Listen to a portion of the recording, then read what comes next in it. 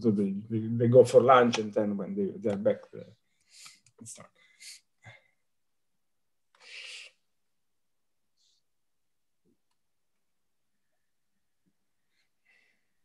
Okay, I started the streaming, so whenever you want. Uh... Yes, I think we can uh, gradually start. I don't know, Yuri, what you think? Yes, we can start. So, welcome back to everybody. Uh, I hope you had. Uh,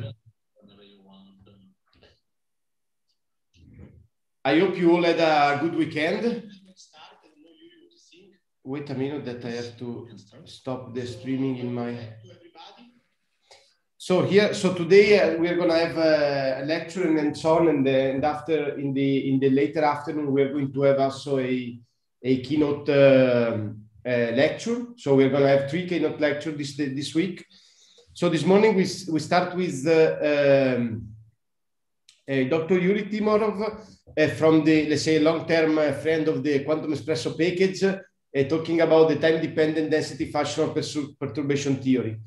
Uh, we'll try to collect questions from the streaming. So everybody that is following the streaming, please uh, uh, feel free to make question on the chat. While uh, here on Zoom, uh, I mean, as usual, we, we wait at the end of the lecture and then uh, Eh, with the reaction, we can eh, we can leave eh, also participant interacting with Yuri at the end of the talk. So Yuri, stage is yours. Good luck. Thank you, Ivan, for the introduction. Hello to everybody. Okay, just give me a second. Okay. Okay, so today uh, we're going to discuss about time-dependent density functional perturbation theory. I hope you enjoyed the first week of Quantum Espresso School, and I, uh, I hope you will enjoy also the second week, and it will be as successful as the first week. Okay, to get started, uh, let me remind what, why we are here. So we are here to learn uh, the Quantum Espresso package. Uh, I would like to share with you this, uh, this data, which is the number of citations of the two uh, main Quantum Espresso papers uh, shown below, published in 2009 and 2017. So you, you can see that uh, the citation of Quantum Espresso is really increasing every year. And in particular, in 2020, we have essentially that every day quantum espresso is cited in 10 papers. So for example, today, 10 papers will cite quantum espresso. This gives us idea of really uh, that the fact that quantum espresso is a widely used uh, electronic structure software. As you learned uh, last week, quantum espresso is a suite of codes, uh, open source codes for electronic structure calculations and materials modeling at the nanoscale.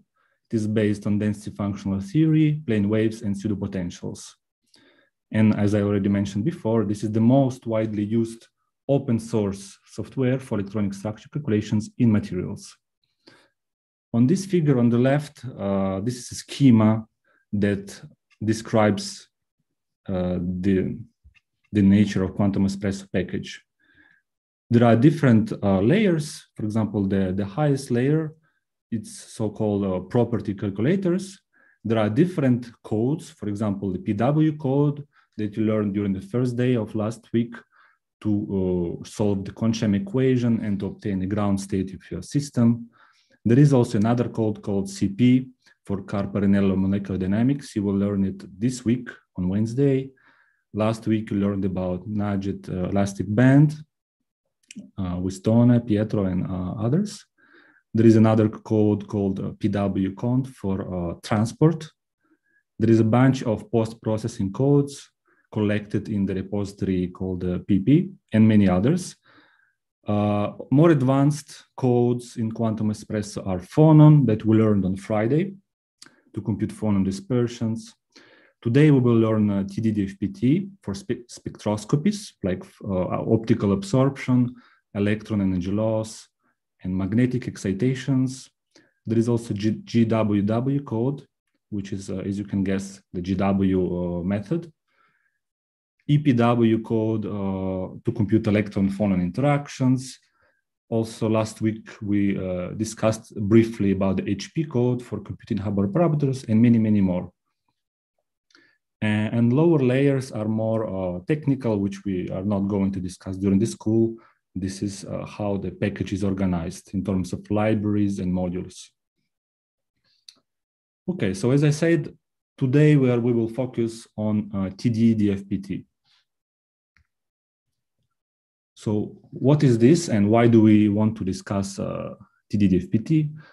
So maybe you've heard such a term as computational spectroscopy. So the idea is to go from the ground state to the excited state.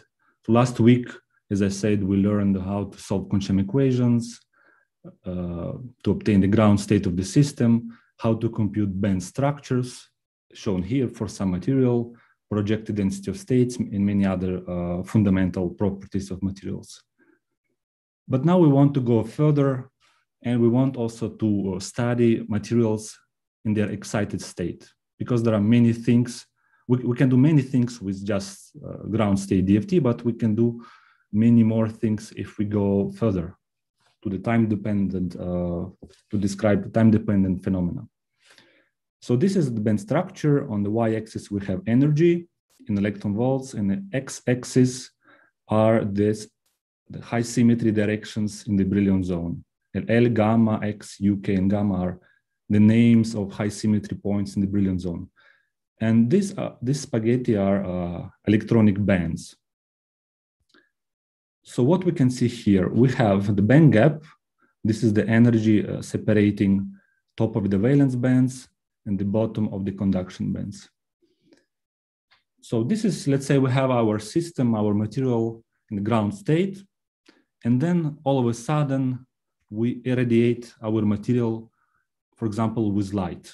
So we send photons to our materials. What happens is that valence electrons, they absorb photons and make transitions from the valence band to the conduction bands shown with these red uh, dashed arrows. So these transitions occur when the energy separation between valence and conduction bands equals to the energy of the photon. So when there is a resonance. So there are different transitions. So to describe this, of course, we can say we can use just standard DFT. We, we know uh, energy of valence bands, we know the energy of conduction bands, we just take the energy differences and, that's it. Well, this would be the simplest approximation, of course. And as we will see uh, in the rest of my talk, this is not satisfactory when you want to make a comparison with experimental spectra. So we want, we need to do more uh, advanced simulations. So to do that, we need to go to the time domain. So because so far it was all static, we didn't have time, it was all fixed in time, but now we need to introduce a time variable and extend uh, DFT to the time domain. So this will be to the topic of today. This is the outline of the morning lecture. First, we will discuss the basics of time-dependent density functional theory, in particular two Runge-Gross theorems. Then we will discuss uh, linear response TDDFT, or it's also called TDDFPT, where letter, letter P stands for uh, perturbation. I will explain later wh why we have this acronym. And we will uh, discuss four methods, namely Dyson method, Sternheimer, Liouville-Lanczos, and Casida-Davidson. And in the second part of my talk, uh, we will discuss applications of TDDFT to describe optical absorption spectroscopy, electron energy loss, and inelastic neutron scattering, which is for magnetic systems. All right. So let's start with time-dependent Schrodinger equation. I hope I explained why do we need to go to the time domain.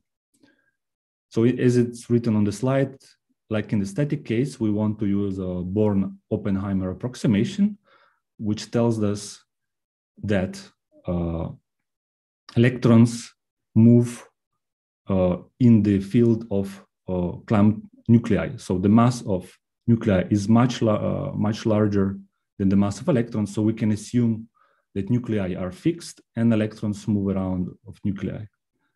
And the evolution of the non-relativistic interacting many electron system is governed by the so-called time-dependent Schrodinger equation written on this uh, slide.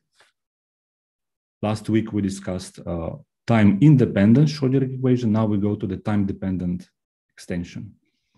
So in the first equation, we see that there is a wave function capital psi, which is the many body uh, electronic wave function. It depends not only on the position of, of all electrons labeled by Ri, but also it depends on time. There is also uh, the operator H with a hat, which is the quantum mechanical uh, Hamiltonian. It also depends on electronic positions and on time. And the expression for this uh, Hamiltonian is written on the second line. We have uh, the kinetic term, as usual. Uh, the second term is the electron-electron interaction term. And the third term is the external potential. And notice that the external potential depends on time. Because when we, for example, irradiate material with uh, light, so it's this is not a st static external perturbation. It is time dependent. So this is why we have time in, in external potential. And the solution of the time dependent Schrodinger equation for the main electron system is even more complex than the solution of the static or time independent Schrodinger equation. As in the case of uh, static theory, we want to go from wave function which is a co very complicated object, to uh, charge density, which is much more convenient. So by the analogy to the static case, we, we, we go from the wave function, which depends on three n plus one variables, where uh, we have uh, three n uh, spatial coordinates and one uh, time coordinate. So three n plus one in total. So instead we use the just the charge density, which is a function of only four variables. So, so three uh, special coordinates labeled by vector r, which is x, y, and z, and one uh, time coordinate.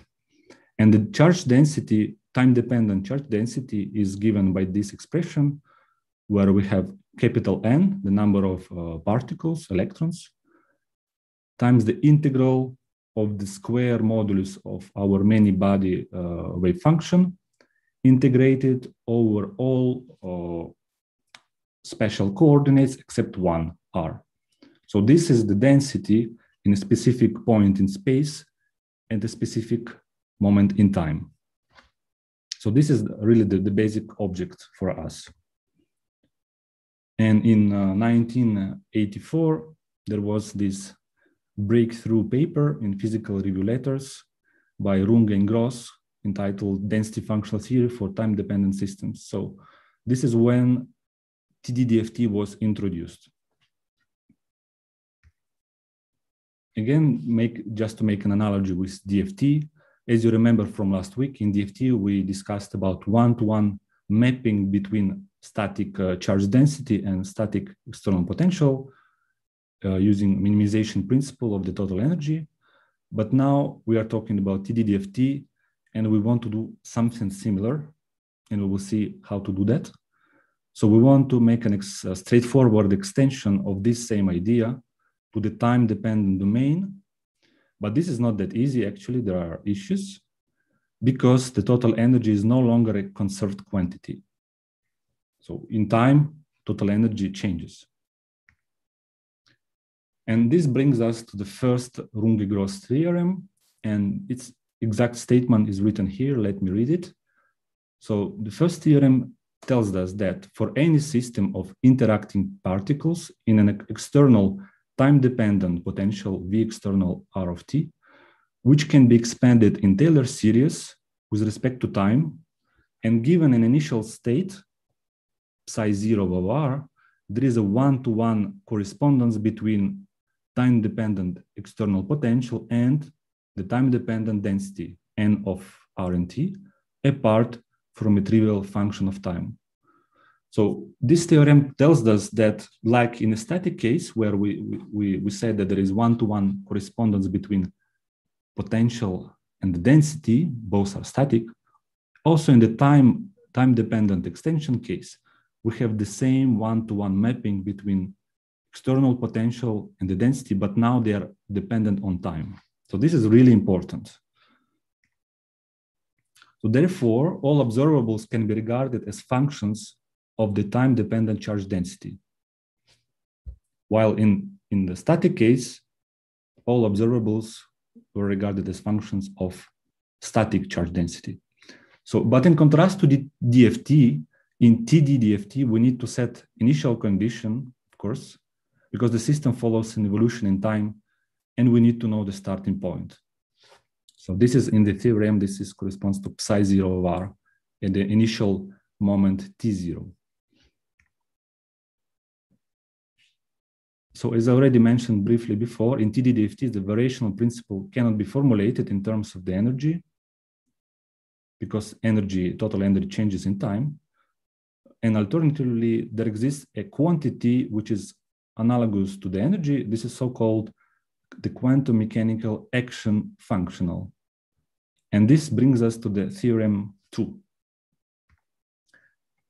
Theorem two tells us that quantum mechanical action functional, which we call A, which de depends on N, and notice the square bracket. So this is to, to, to note uh, a functional. It's not a function. Function, if it was a function, it would be um, round brackets. But to denote functional, we use a square bracket.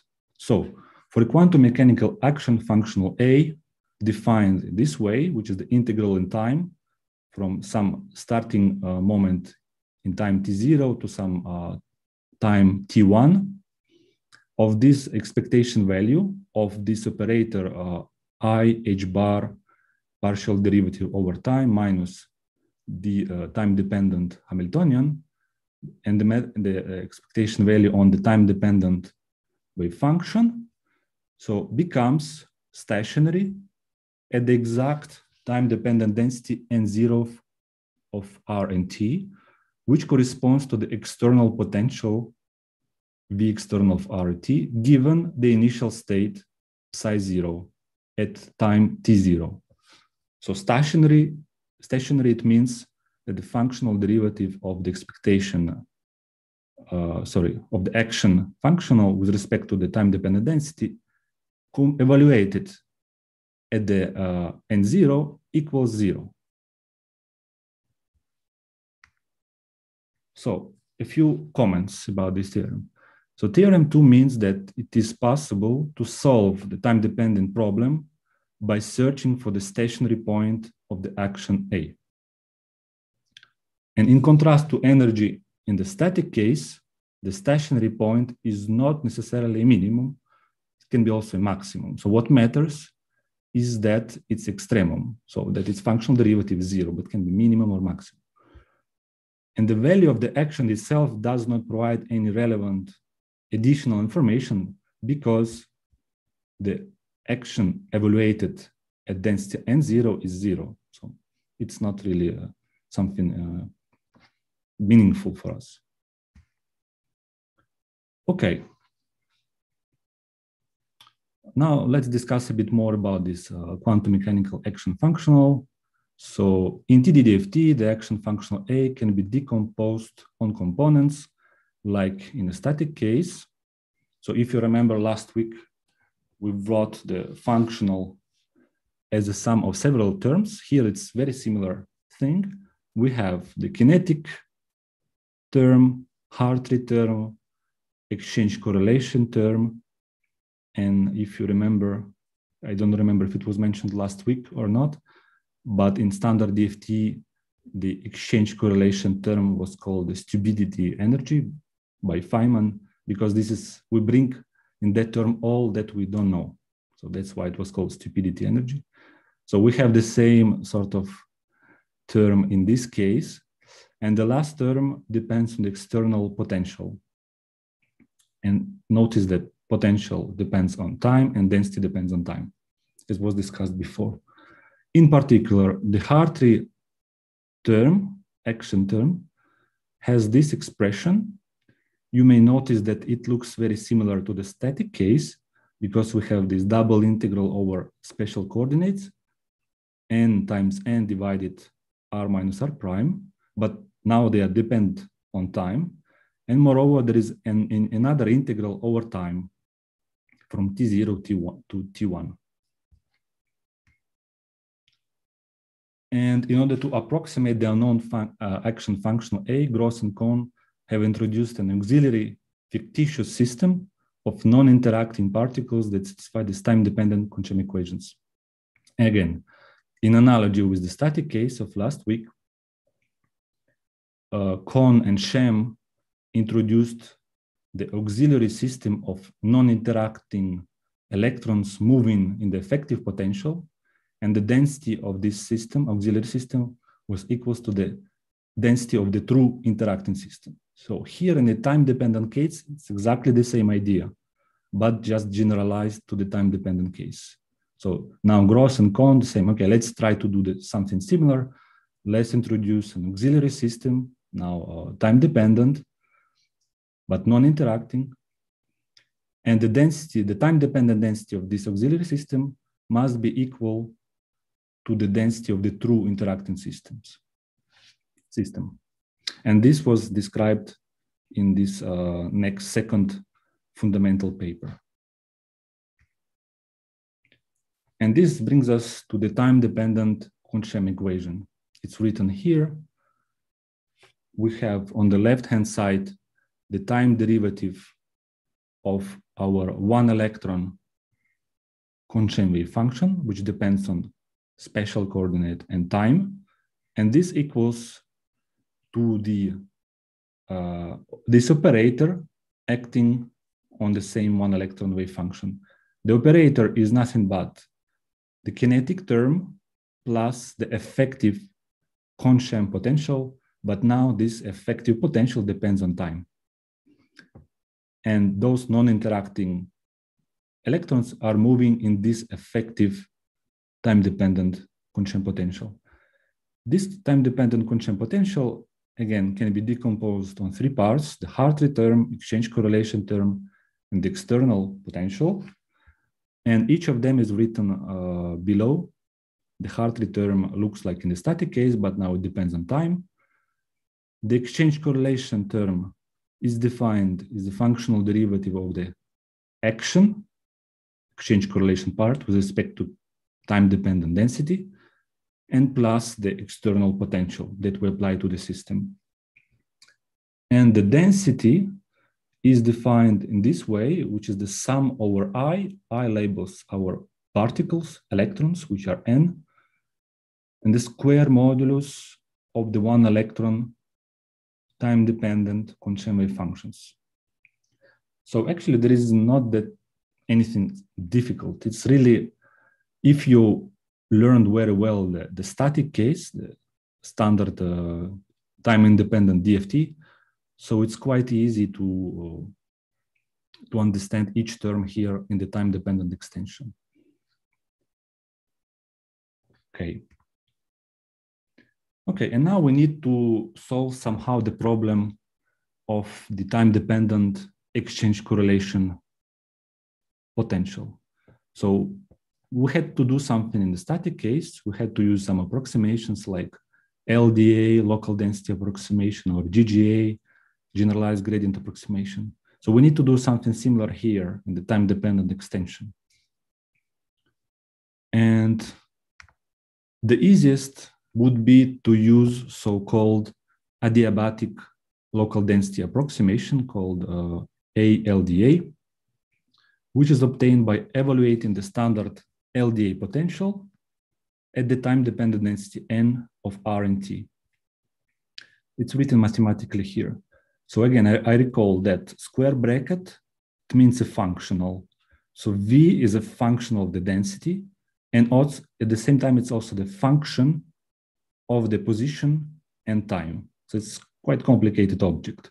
So we put in in this object density, which is a function by itself, and depending on the value of the function, this expression obtains some specific value. But now we want to approximate this complex object and we say that the exchange correlation potential is actually a function of the density that depends on R and T. So this is a drastic approximation because strictly speaking, uh, this potential should depend on, uh, on the density at all previous times, not only at this specific moment in time, but also in the, in the it needs to know the history, what was before, how, what, how, it did, how did it behave in the past, this density. But we say, we make really a, uh, quite strong approximation saying that we just want that this potential depends on the density at this very moment.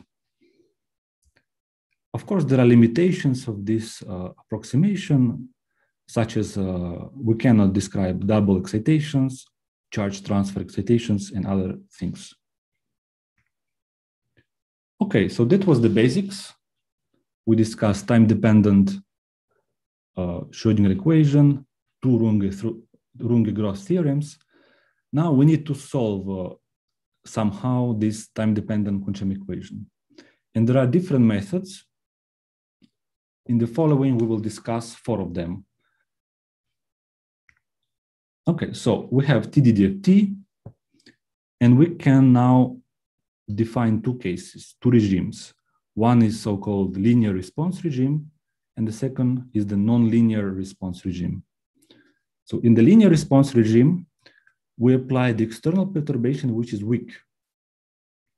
This, this would allow us to use the perturbation theory, expand all quantities in Taylor series, and uh, cut the expansion, for example, at first order, and this would give us the linear response because we cut at the, at the first order, the expansion. And these equations can be solved either in, uh, in time domain or in frequency domain. But the majority of cases are done in frequency domain. I will discuss in a moment. And second, there is nonlinear regime. When the external perturbation is strong, this is, for example, useful to describe uh, ultra-fast uh, physics. And uh, TDDFT equations are solved in the time domain. We will not discuss today nonlinear response regime. We will focus on the linear response case. Okay, so this is called in the literature linear response TDDFT, or there is acronym TDDFPT. I will discuss in a moment why this second acronym. So let us assume that the time-dependent external potential is weak, and it can be written in this form. So our external potential is written as the sum of the static potential. So it doesn't depend on time. This is fixed in time. Plus uh, a second term, we label it with V prime, which depends on time. So this is our uh, starting point. Given this expression, the density can be expanded in Taylor series.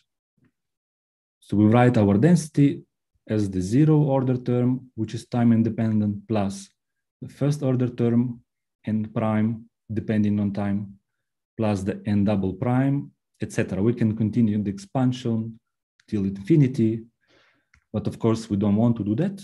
We want just to keep the simplest case, just the ground state case plus the linear, uh, the first order term. And we, starting from the second order term and higher order terms, we neglect them. So this is an approximation. This being said, we can write this uh, object n prime, which depends on time, is a function of the external potential V prime external. And the co connection between these two objects, the external perturbing potential and the induced time-dependent density, so this link is via the function chi, which is the so-called susceptibility of the material. So this function chi depends on uh, special coordinates r and r prime, so it's non-local and it depends on times t and t prime, but actually the difference of time. And we have integral over R and over time. Time-dependent density functional perturbation theory is TDDFT in conjunction with perturbation theory. So we'll add this letter P because we use perturbation theory. As you can see, we expand in Taylor series, we cut uh, at the first order. So since it's first order, it's called linear response. It's linear. There is no, there are no non-linear effects. So this is why, and also last Friday, uh, we discussed about DFPT. It was the static uh, density functional perturbation theory. But now we add prefix TD, which is time-dependent extensions. So in the following, we, you will see that to solve these equations, we use all those uh, advanced techniques which you learned uh, last week when we discussed about phonons. So that's why we use this acronym TDDFPT. But commonly in the literature, people also use uh, name linear response TDDFT. Okay, as I said before, we have at least four ways how to solve these equations, linearized time-dependent equations. And let's discuss briefly each of them so that you have an overview of what is uh, used in the community. By the way, TDDFPT is used in the physics community, but also in quantum chemistry community, in material science. So it's very popular method. And each community has preferences to this or that method. Okay, let's start with the Dyson method.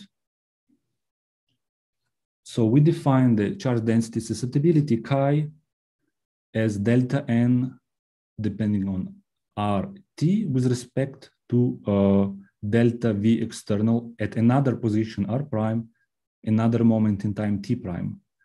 And this object is evaluated at uh, the value of the external potential equally, which equals to V0 external R prime. So this is the definition of the charge density susceptibility. Now, let us use the chain rule for the functional derivatives. I hope uh, you are familiar with the chain rule when evaluating derivatives. Essentially, what we want to do is to say that this object delta n over delta v external can, be written as delta n over delta v Kohn-Sham, delta v Kohn-Sham delta V external.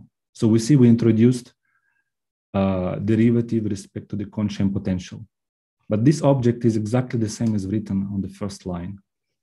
And of course, we have uh, integral over space and time. Okay, and we will use in the following the chain rule again. Now, let's take this object highlighted in, in yellow, and we can further do some mathematical operations with this expression. So delta V Kohn-Sham over the delta V external can be written this way because, uh, as we know, the Kohn-Sham potential is the sum of the Hartree exchange correlation and external potential. So basically, this object is nothing but three derivatives. The derivative of the Hartree with respect to the external, exchange correlation with respect to the external, and external with respect to external, which gives us the, simply the delta function. And next, the derivative of the heart Hartree part can be further written using the chain rule. So we write delta V Hartree with respect to the density and density with respect to the external potential. But what we obtain now is very interesting because, not yet, sorry, just uh, wait a moment. So one more comment that delta V Hartree with respect to the density, we know the expression for the Hartree potential that it depends on the density. So we can evaluate the derivative, this derivative and it's simply charge to the power of two over uh, Coulomb potential and delta function for time. Okay, we can do the similar thing with the exchange correlation part we can now uh, use the chain rule, which will give us derivative of the exchange correlation potential with respect to density and derivative of the density with respect to the external potential. And we call this object, delta V exchange correlation with respect to the density, as fxc, which is the so-called exchange correlation kernel. And the interesting part that I wanted to say uh, one minute ago is this one. It's highlighted in brown that notice that the object that we want to evaluate, the function chi susceptibility, depends on itself because this is the this is also chi. So we want to find something unknown, and this unknown depends on itself. So how to do that? How to solve this?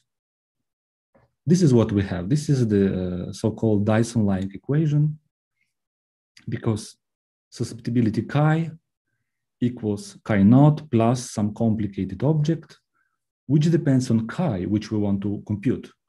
So this is a equation where unknown depends on itself. And in this integral expression, we have the Coulomb part plus the exchange correlation part. The object which is appeared here, chi naught, is the so-called independent particle polarizability, which depends on uh, R, R prime and frequency.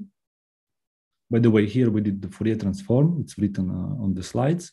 We, we went from time domain to the frequency domain because it's more convenient to solve this equation in frequency domain. And this object, it can be shown uh, mathematically how to obtain it. But essentially it has this expression. We have summation over indices i and j. They label uh, valence and conduction bands. It depends on uh, functions f, i, and j, which are uh, uh, occupations. It depends on uh, one particle, one electron Kohn-Sham wave functions, static ones, divided by h bar omega, which is the energy of the incoming photon, minus the energy difference between conduction and valence bands, plus i eta. Eta is the infinitesimal number, just to regularize the problem. So this function has uh, peaks when the denominator is zero. So when the energy difference between the valence band and conduction bands equals exactly to the energy of the incoming photon, so we have zero in the denominator and something divided by zero gives us infinity. Of course, we numerically we cannot deal with infinities divisions by zero. So to regularize this problem, we add this infinitesimal um, smearing. Typically, it's Lorentzian. And this object naught describes the independent particle excitations. This is what I discussed at the very beginning of today's lecture when we just solve TDD, uh, sorry, DFT equations. We obtain valence and conduction bands, and we simply say there are transitions from valence to conduction. But we need to go further and we need to solve this complicated Dyson-like equation, which takes into account also electronic interactions via the Coulomb interaction and exchange correlation quantum mechanical effects.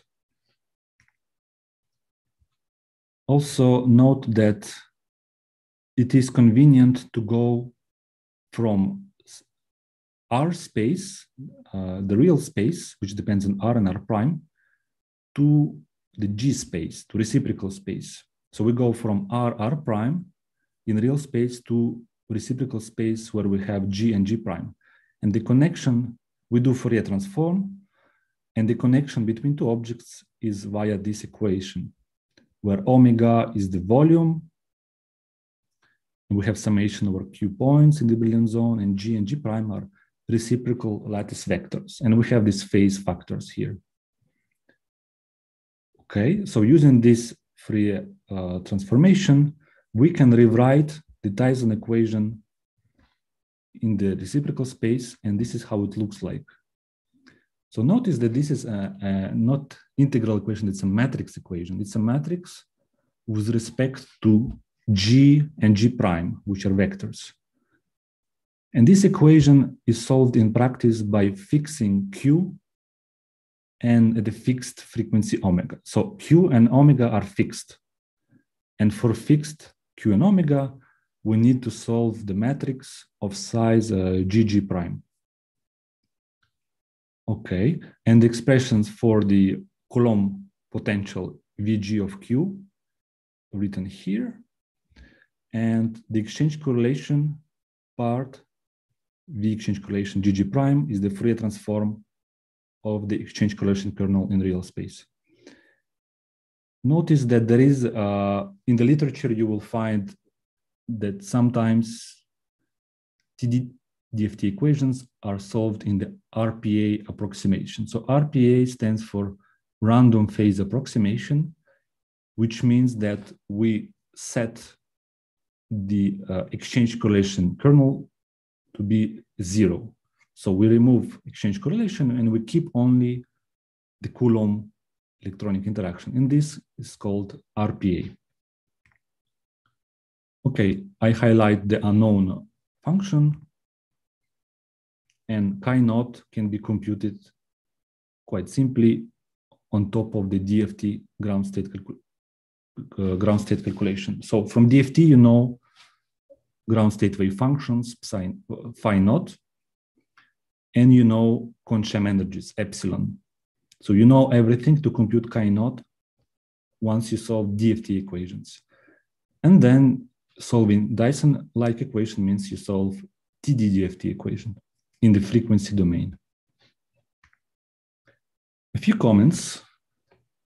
Uh, there are summations over numerous empty states n prime in the calculation of chi naught. So in expression of chi naught, we, we have sum over k points, but also we have summation over bands, n and prime. So n label valence bands or occupied bands, and n prime label empty bands or unoccupied. So in principle, we have infinite number of empty states. But of course, in practice, we cannot have infinite summations. We, we need to do some uh, cut at some point. And in practice, we need to make convergence tests with respect to the number of empty states. But this is computationally expensive. And this is the drawback of this method. Second drawback is that there are multiplications and inversions of large matrices because, as I said, we have matrices of size GG prime, and in practice, the, the size of this matrix can be easily several hundreds and probably even higher than uh, a thousand. So numerically, this is quite expensive computationally to solve this equation. And finally, the matrices chi naught and chi of GG prime must be computed for every value of frequency. As I said, Q and omega are fixed. So you need to solve this equation for every value of Q and omega. So in optical absorption, Q is zero. So you have only frequency, but still you need to solve this equation multiple times for each value of the frequency. And this is again not practical. This is computationally expensive. This method is not, this is very uh, traditional and conventional method in the community. Uh, but due to these drawbacks, uh, we don't really use it. It's not available in Quantum Espresso because there are uh, more advanced methods that I will discuss in the following. But if you are interested in this method, it's implemented, for example, in the Yambo code, which can be used on top of Quantum Espresso. But there are many other codes, like DP code and many others. Okay, now uh, let us discuss about the second method, which is called Sternheimer method. Okay, the Sternheimer method is the following. We write the time-dependent Kohn-Sham equation, I h bar d phi over dt, Kohn-Sham Hamiltonian acting on the on phi. So we saw this before. I just write instead of individual terms, compact uh, notation, I introduced the Hamilton, Kohn-Sham Hamiltonian. And this Kohn-Sham Hamiltonian has three parts, kinetic term, external part, uh, potential, and exchange in correlation potential. the second and the third potentials terms depend on time. Okay, so we have this equation. How, how can we solve this? Um, so as before, we're, we're in a linear response regime. So we write our external potential as the sum of the uh, ground state potential plus the linear order potential, the, the, the, perturbation potential, V prime of external, depending on time. As I said before, this being said, we can also write the time-dependent density as the sum of the ground state density and zero plus the response term and prime, which depends on time. For the same reason, we can also write the exchange correlation potential as the sum of the ground state potential plus the first order term, the response term, which depends on time. Okay, uh, again, we do some, um, not use some notation. We write that Kohn-Sham potential is the sum of H naught, which is the ground state Hamiltonian, plus V prime RT, which is the time-dependent response potential. This is the same as written on the, on the previous slide, but just um, introducing these notations, H naught and V prime. Next, we say that the time-dependent Kohn-Sham wave function can be written the following way. So our time-dependent one electron Kohn-Sham orbital is defined as the sum of the ground, uh, ground state Kohn-Sham orbital plus the time-dependent response orbital phi prime of t, and all this multiplied by this phase factor, where we have imaginary number epsilon v, which is the Kohn-Sham energy of the valence band or occupied band times t and divided by h bar. So this is how we write our total wave function. And with this at hand, by doing uh, very simple uh, mathematical operations, we plug in the definition of this wave function in the time-dependent Kohn-Sham equation on the previous slide here. So we put phi in, in here and in here, and also we put expression for the Hamiltonian. And it can be shown quite easily that we obtain these equations. There are two equations. The first one is the resonant, and the second one is the anti-resonant. So we see that in the second equation, we have complex conjugate star here and here and we, we have since it's uh, we have imaginary number there is also i changes to minus i all right so now we can solve these equations. How to do that? We do the fourier transform from the time domain to the frequency domain and we obtain these two equations. So this looks quite complicated. It uh, you need to take spend some time just to think at each term and the meaning of, of these equations.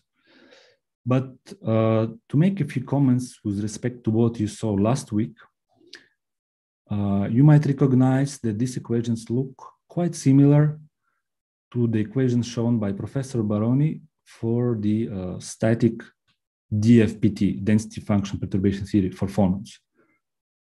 So if we set frequency to zero, so with h bar omega becomes zero here and here, and also potentials v prime exchange Hart exchange correlation also, let's say they do not depend on frequency here and here. And we can bring these terms in the middle, PC, V prime, phi naught on the right, and write it as a one term. So this would be exactly the same equation that you saw in DFPT for computing phonons. Just in the case of phonons, the perturbation was when we displace atoms. But here, instead of moving atoms, atoms are fixed.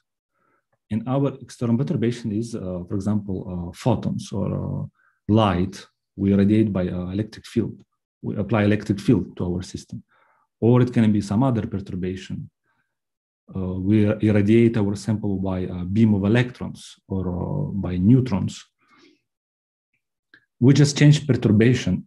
And since in our case, perturbation is time dependent or frequency dependent, so also equations has to be generalized to the frequency domain. And that's why we have everywhere omega. But if, apart from that, these are exactly the same equations that you saw last week.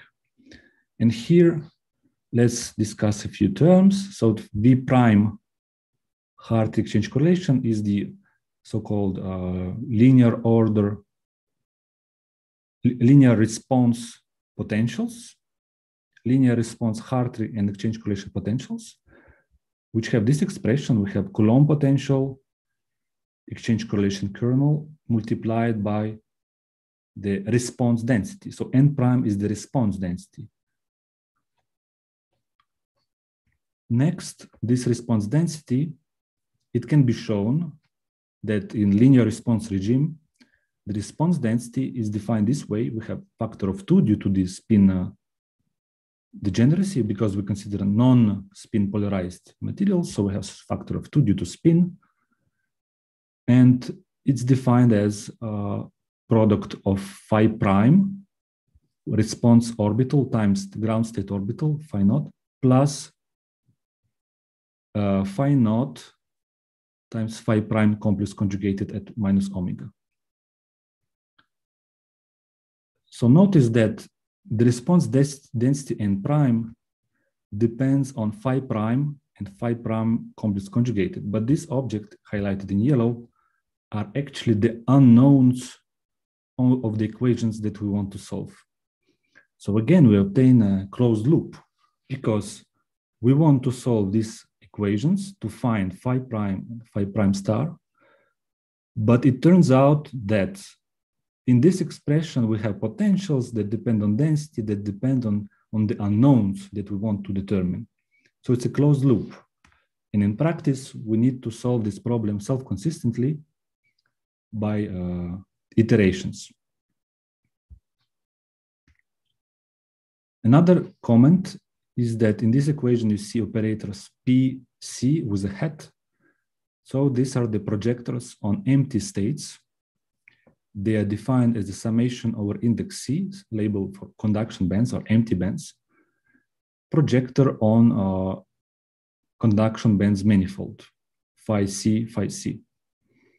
And uh, this object can be written as one minus projector on valence band or occupied bands. Again, you, you, you should remember that last Friday, you saw exactly the same projector with Professor Baroni. So we have the same methodology applied also in the time-dependent case.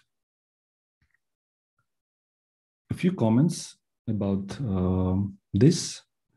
So here we don't need empty states thanks to the projector on empty states, PC.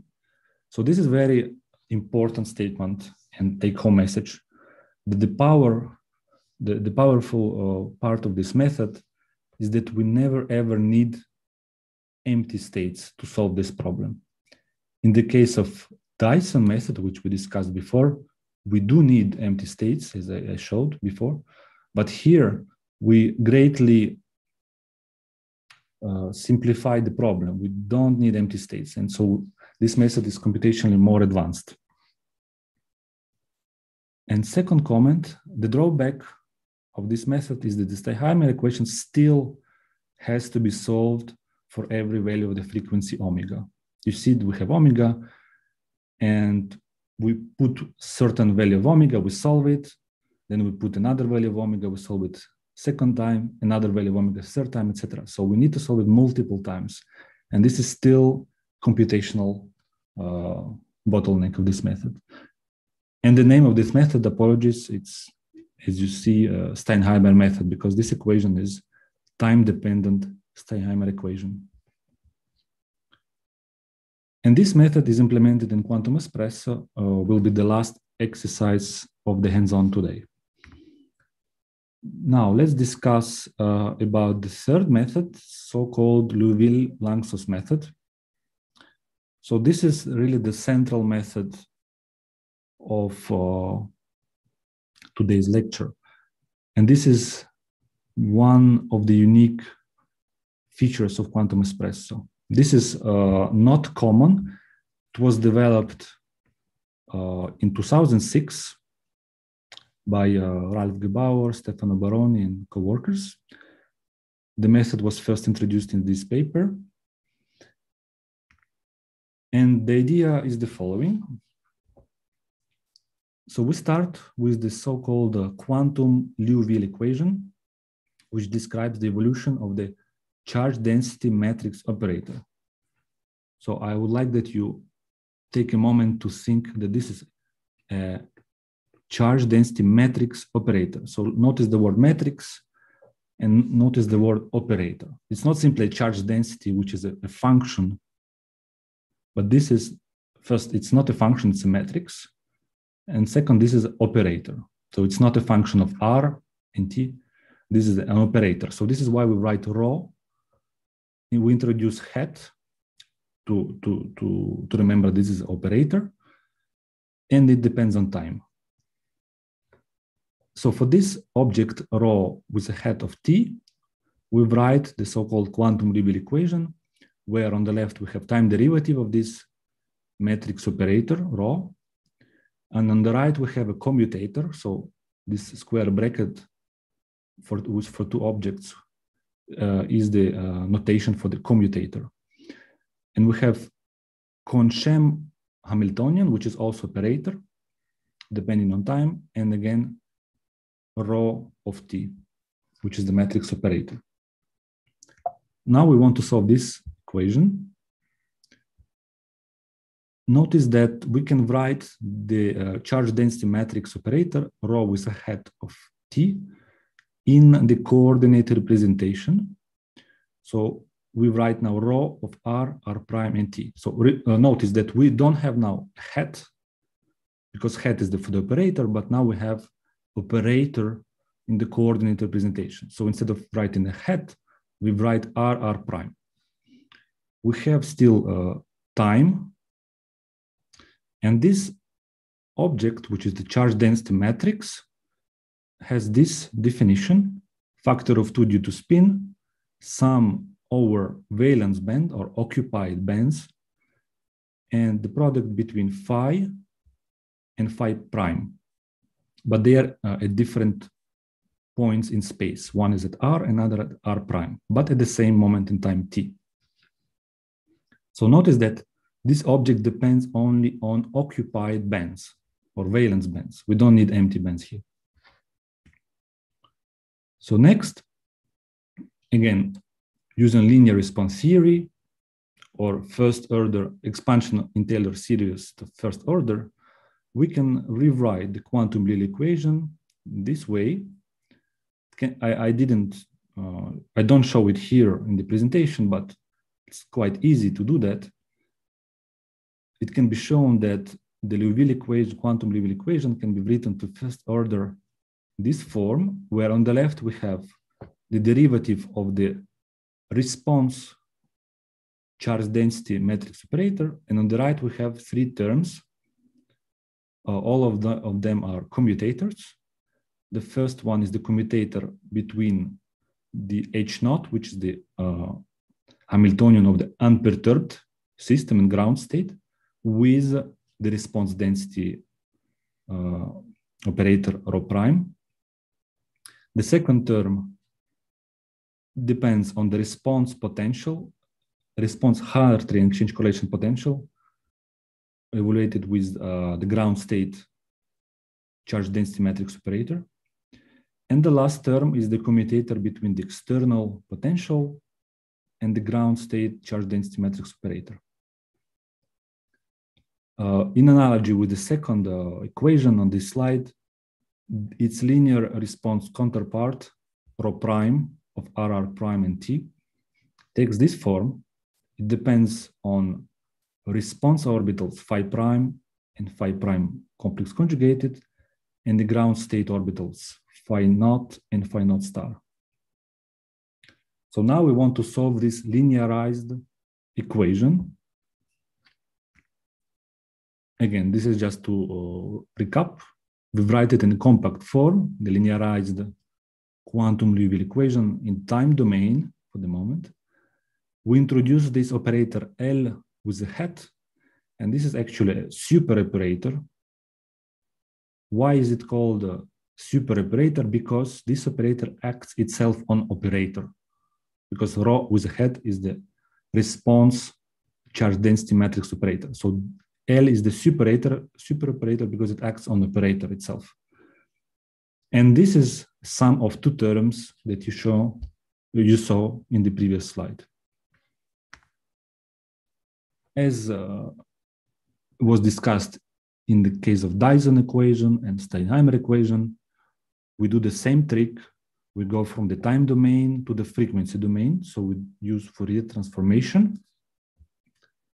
And now our linearized quantum Liouville equation takes this form. So instead of t, instead of time, now we have frequency omega. So I skip the demonstration how to obtain this equation, but this could be, this should be quite straightforward. And in this uh, linearized equation in frequency domain, we have frequency uh, h bar omega, which is the frequency of the photon, minus Liouville superoperator acting on the unknown. And on the right, we have uh, the commutator between the external potential and the ground state charge density matrix operator. And formally, we can write the solution of this equation simply by bringing the uh, operator in square brackets on the left. So we bring it to the right with the minus one to the power minus one. So this is just formally, we can write it like this. And finally, by having this definition, this uh, expression for rho prime, we can write the object of interest that we want to evaluate at the end of the day, which is chi, the susceptibility chi of omega. So by definition, susceptibility is the trace of the operator A with the response density matrix operator rho with a head prime. So A is the uh, quantum mechanical one electron Hermitian operator, it can be any operator. For example, we can take uh, a dipole, okay? So if we put A, uh, replace A with the dipole operator, so what we will have on the left, so our susceptibility would be actually uh, polarizability. But if you put uh, instead of operator A some other uh, quantum mechanical operator, it would be another uh, observable chi. we will discuss uh, at the end of the lecture other cases for electron energy loss and for ma magnetic systems. Okay, now um, we have these beautiful equations and we want to solve them in practice somehow. And now we are, this brings us to the Lanczos method. I don't know if you heard about uh, method or not, but this is a very powerful uh, method to solve this problem we define the standard batch representation. We introduce uh, new variables called Q with an index V and P with the index V. So Q is defined as a half sum of all the variables because phi prime and phi prime complex conjugated at omega and omega minus prime, these are unknowns. So instead of having these two unknowns, we introduce another two unknowns, which are Q and P. And P is defined as the half difference between old unknowns. And then we define batches because we take a set of Qs and we label it as a bold Q because it's a set or batch. And P is a set of P variables. Now, with this definition of Q and P batches, which are called standard batch representation, now we can rewrite the linearized quantum Liouville equation and frequency domain in a matrix form using these batches, standard batches. So we see on the left matrix, depending on frequency and super operators D and K. And on the right, we have this uh, quite complicated object.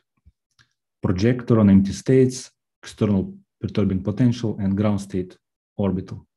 So what are these operators D and K? This, the D operator, the, the action of the D superoperator on the Q is nothing but ground state Hamiltonian minus occupied band's eigenvalue. And the action of the K superoperator, this is a more complicated object because it contains inside all interactions. So we have Coulomb and exchange correlation and electronic interactions inside. So this is quite complicated and it takes time to get familiar with these methodologies. But this is the basics of, of, of it. And finally, to solve this matrix equation in practice, as I said, we use Lanczos recursion method algorithm. We introduce uh, two component Lanczos vectors, capital V, which depends on Q and P, and capital U, which depends on Q tilde and P tilde. We write down the Lanczos recursion chain where we have these uh, vectors v and u that we just introduced at iteration i plus 1. And to obtain this vectors at iteration i plus 1, this is, we need to know the values of these vectors at, at iteration i and at iteration i minus 1. Here, beta and gamma are so-called Lanczos coefficients, and L and L transposed is the Liouvillean superoperator. So L is uh, simply the expression over here on the left without frequencies. So if we remove h bar omega and we put zero and zero, and off diagonal we have minus d in minus d minus 2k, this is called L, the Liouvillean uh, matrix.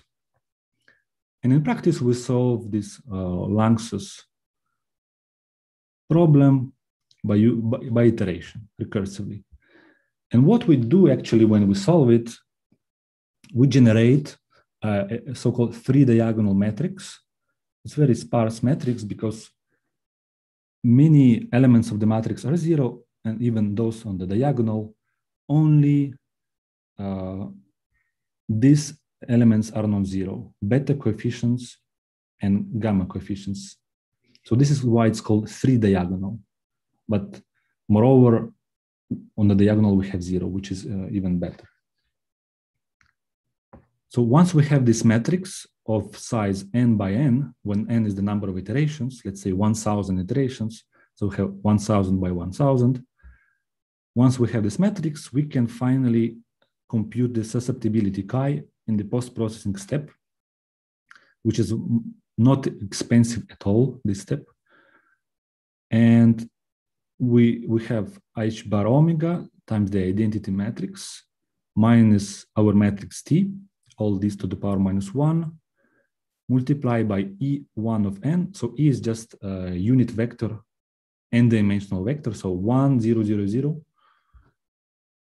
So the dimensional vector is n. All elements are zero except the first one, which is one. And zeta of n are, have this complicated uh, definition. And these objects zeta of n are computed on the fly. So when you solve Lanczos, you do Lanczos iterations, on the fly, you simultaneously compute also this object inexpensively. Uh, notice that uh, we don't need empty states in this method. Uh, as I mentioned before, we have because we have projector on empty states. So again, this is very powerful, no empty states. Second, uh, this three diagonal matrix T of n must be computed only once. It doesn't depend on the frequency. So this is a second very powerful uh, advantage of Lanczos method that even though you see frequency here in this equation on the top left, but in practice, actually, when we, it's, it's a, just a parameter we don't solve this equation multiple times for each value of frequency. So frequency is actually never used when we solve Lanczos a recursion. And we obtain the matrix of T, which is uh, doesn't, I mean, we don't need, it doesn't depend on frequency. The frequency enters only the very end at the post-processing step. You see h bar omega. So once we have T, which doesn't depend on frequency, now we do computation of chi for different values of frequency. But Lanczos itself does not depend on frequency. And yeah, and what I said in the third point is exactly that this last uh, post-processing step is absolutely inexpensive. If Lanczos takes, uh, it's, it's really the, the main uh, computational bottleneck of this method. Let's say it can take uh, 30 minutes computation. So the post-processing step, step can take just uh, two to five seconds. It's really inexpensive. Okay, and uh, let me mention very briefly uh, the last method. It's the Casida-Davidson method. So this la last method is used uh, mainly uh, to study molecular systems. So it's popular in quantum chemistry, effectively. While uh, Dyson and Sternheimer, they used mainly in uh, solid state physics and Liouville-Lanczos is effective both for molecular and also extended systems. So, okay, briefly about Casida-Davidson. I write down uh, equations that you saw already before, this uh, resonant and anti-resonant linear response equations. We say the following, this, the right-hand side, which is the perturbation, because we have external perturbation potential, we set it to zero, and we can write the remainder of this equation in a matrix form. It's called uh, Casida equations. It's from the quantum chemistry community. Maybe you're familiar. And uh, we have this matrix equation and want to uh, diagonalize the matrix on the left. On the left, sorry. We want to obtain eigenvalues and eigenvectors of the matrix on the left. So we diagonalize with the Davidson method. So that's, what, that's why this method is called Casida-Davidson method. And uh, the lowest energy eigenvalues is the first excitation peaks. So this is especially a very practical method for molecules because in molecular systems absorption spectrum, you easily compute first eigenvalues. And then when you go higher and higher in energy, the density of eigenvalues becomes higher and higher. And this method becomes computationally more ex very expensive.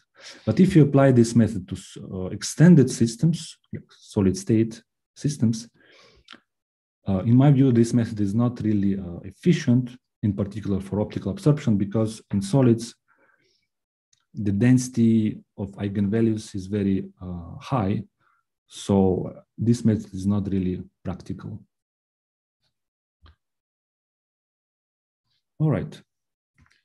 So this was the overview of four methods. And now let's discuss about applications of these methods, in particular optical absorption, electron energy loss, and inelastic neutron scattering. So let's start with optical absorption. So far, uh, the external perturbing potential was not explicitly defined. It was considered as some generic external perturbation. Now we are talking about optical absorption. And in this case, the external potential is defined this way. We have minus E, where E is the electronic charge. Capital E in bold, this is the uh, electric field vector, which depends on frequency scalar product with r, with the, which is the position coordinate. So with the cartoon, you see that we have molecule when we irradiate it with light. We have photons with energy h bar omega. So with this definition of the external potential, the object that we want to compute is the dipole, uh, bold d, which is the dipole vector. By definition, dipole is the trace of the position operator R times the response charge density matrix operator, rho hat, uh, rho prime, the one we discussed before. And in the Liouville-Lanczos method, when we discussed about um, Liouville equation, you remember that the expression for rho prime is the resolvent, I didn't mention it before, but this is the resolvent h bar omega minus L to the power minus one times the commutator of the external potential and ground state uh, charge density matrix operator. So now in this definition, we plug in the, the expression for the external potential, V prime. So we put this here and then we can define the dynamical polarizability tensor of the dipole, alpha uh, uh, ij. So the connection between the dipole D and the electric field capital E, so the connection is via this dynamical polarizability tensor. And the expression for alpha is obtained by using first two equations. You see that alpha of ij, where ij are just Cartesian components, x, y, and z. So it's three by three matrix.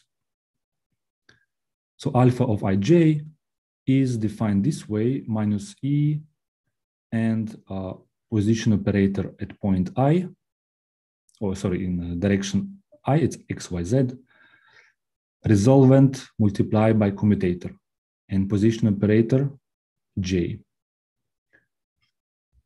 Okay, so we have this definition, and we can evaluate this object, for example, using either Liouville Lanczos method with the code turbo-lanczos.x or using Casida-Davidson with the code turbo-davidson.x. So during the hands-on, the first two exercises will be exactly computing the dynamical polarizability alpha using these two codes. So Oscar will uh, guide you through the hands-on. Just to give you an example, with this method, uh, Liouville-Lanczos, we can compute the absorption spectrum of the caffeine molecule, shown here. So on the y-axis, we have the polarizability that we compute. On, on the x-axis is the energy, if you want the photon energy. In this figure, we see the convergence of the absorption spectrum. If we do 500 Lanczos steps, we see very big spikes. This is, of course, very, uh, it's not converged spectrum. If we increase number of iterations to 1000, so we go from red to green, we see that spikes are uh, vanishing uh, little by little. If we increase to 2000, they get even uh, smaller. And at 10,000 steps, we obtain almost smooth spectrum. So this black spectrum, the converged one, can be compared to the experimental spectra of the caffeine molecule. Uh, and on the right, I show uh, another example using uh, Casida-Davidson method. This method was developed uh, about uh, five years ago and applied to to these molecules, uh, pelargonine, cyanine, peonine, etc. And we show here polarizability as a function of wavelengths in nanometers for each of this molecule. And using this absorption spectrum, it's also possible to compute the corresponding color. It's shown here on the right. Another uh, interesting application that can be done with quantum espresso is to compute absorption spectra of molecules uh, in solutions. For example, uh, of course, molecules exist in uh, some uh, solutions, like in, in, in water, for example. So to simulate this, what we can do with quantum espresso, we take our molecule, assigning molecule in this case, about uh, 60 atoms, and we put around molecule waters. And this system is quite large because in total you can have uh, more than uh, 100 molecules, maybe 200, I don't remember exactly. But this system overall is quite large. And if you want to perform straightforward uh, simulation, it will be very expensive. So we can do some simplification of the problem. Namely, we can replace water molecules around our uh, molecule with some homogeneous medium. And we put the dielectric constant of this homogeneous medium of the, of the real uh, atomistically resolved medium. So we, we get out all water molecules and we put in the homogeneous dielectric. But now the question is, how do you interface uh, your real molecule with this uh, solvent, um, so-called implicit solvent? So this is uh, quite tricky. And in this work, we used the method which is called self-consistent continuum solvation model, developed by uh, Oliviero Andreussi, Ismaila Dabo, and Nicola Marzari about 10 years ago. And there are actually two, two uh, interface. It's actually smooth transition, but we, we need to define two uh, parameters that control the trans smooth transition from the molecule to the medium. So inside of this first uh, isosurface, you can see it in some uh, hue of green color. So inside, the dielectric constant is one. So the molecule is sort of in vacuum. But then it smoothly goes from vacuum to, to the dielectric constant of the implicit solvent. And using this uh, approach, we can compute the absorption spectrum of this molecule, not only in, in vacuum, but also in the presence of this uh, solvent surrounding our molecule. So there is there are screening effects of the electronic transitions of the molecules. When you excite electrons of the of the our molecule, of course, you have some effect by the environment. And here we see uh, two calculations done at the PBE level which is GGA, and using the hybrid functional uh, TDDFT calculation. Comparison was done with the Gaussian code, which is, uh, of course, uh, very popular in quantum chemistry community, computed in vacuum and also in water. So we can see really the effect of, of the environment on the absorption. So we see changes in the intensity of peaks. So going from red of vacuum to green, which is with water, and also the shape and even position of peaks. And when you switch from uh, semi-local PBE functional to hybrid functional, you see also significant changes. You see the blue shift of peaks.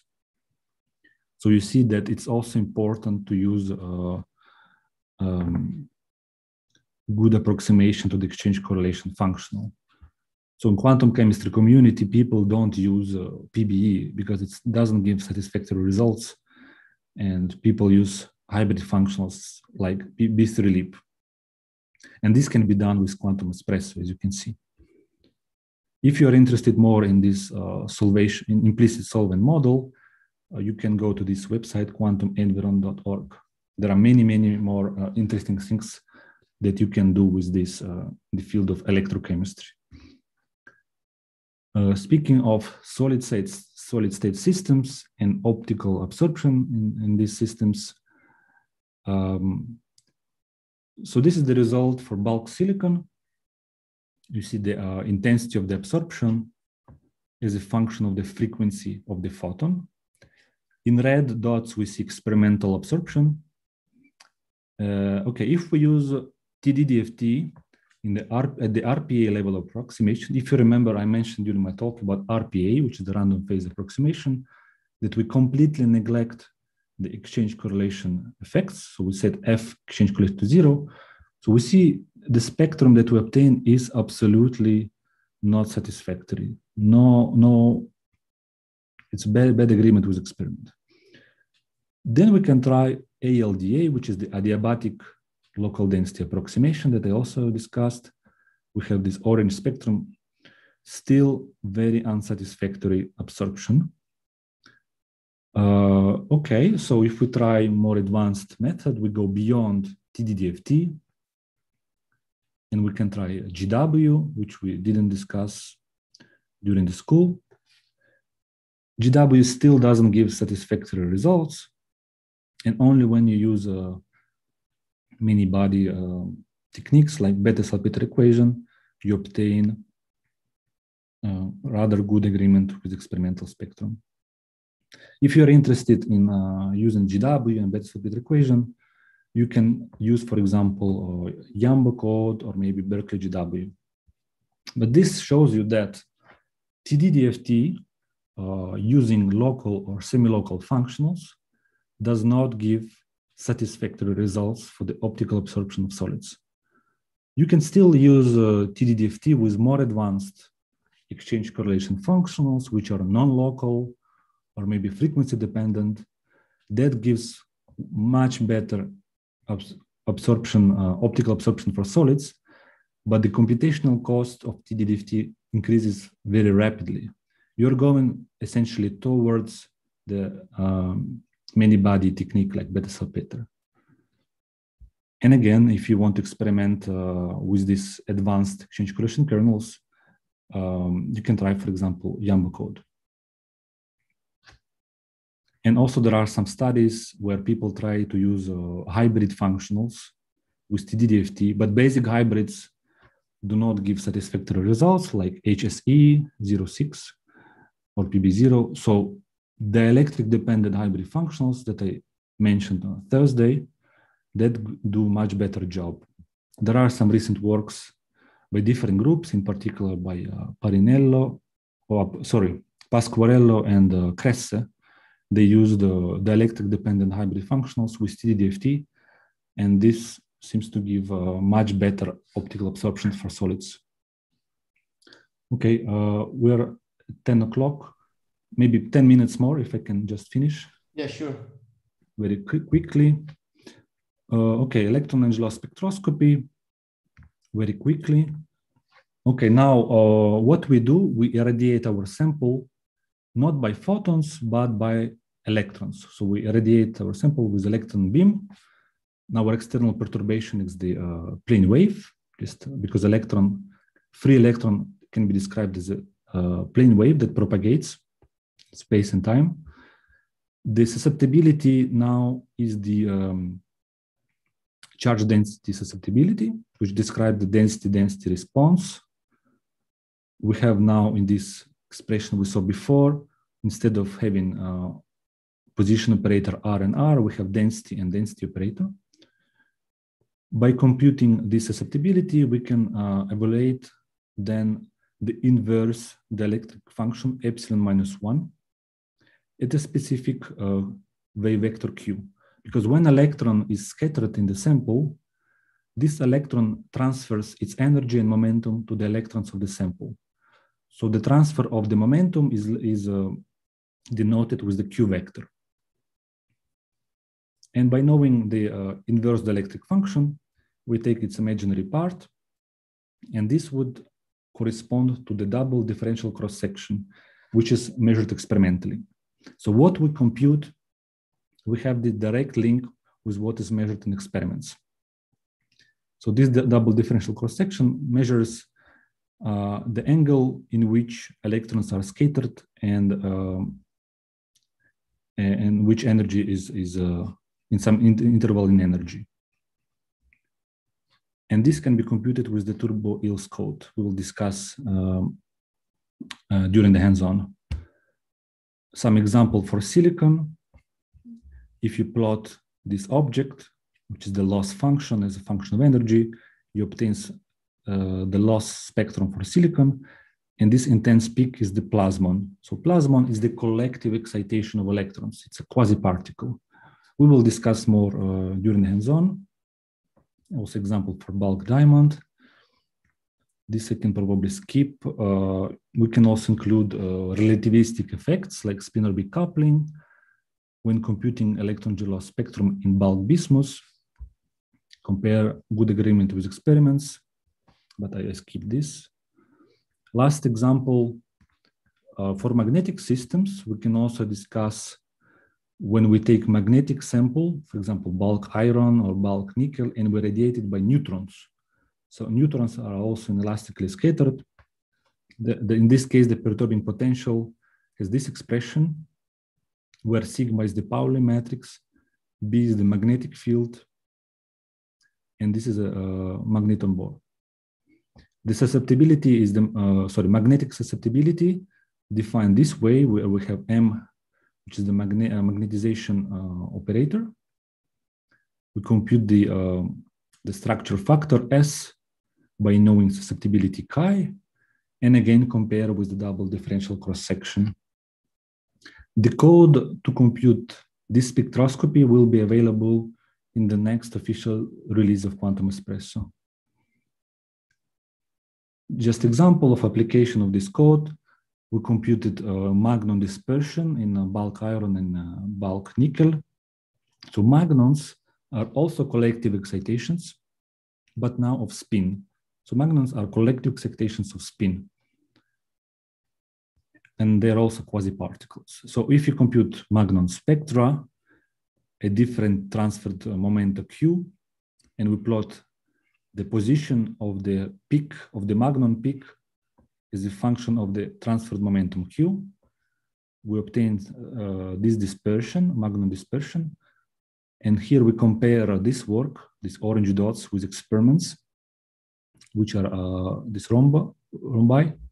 We see good agreement for iron, but for nickel, we see that uh, TDDFT, this work and previous works overestimate the energy of magnons. This is because of the approximation to the exchange correlation function. Very advanced application. We applied uh, quantum espresso to compute magnon spectra of uh, the monolayer chromium triiodide. So on the left, we show the magnon dispersion of uh, the monolayer of chromium iodium iodine 3. So the energy of the magnon is in the long high symmetry directions. This is the uh, intensity map. And very interestingly that experimentally, uh, there was observed a gap at the Dirac point in the magnon dispersion you see here. The intensity is vanished here. And again, using all advanced tools of quantum espresso, we used DFPT that you learned with Professor Baroni last Friday. We computed phonons for this material, and we, have, we found actually that when there is a gap in the magnon spectrum, actually this exactly same energy interval, we have phonons, phonon bands that you also know how to compute.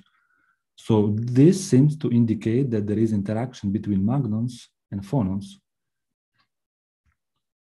By doing some um, detailed investigation using, uh, by developing a model Hamiltonian, we managed to show that, that actually uh, there is interaction coupling between magnons and phonons.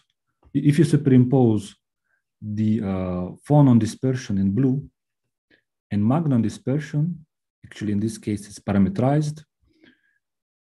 Uh, and we apply this model Hamiltonian, including the magnon phonon coupling, we see that there are some uh, splittings uh, in the magnon dispersion.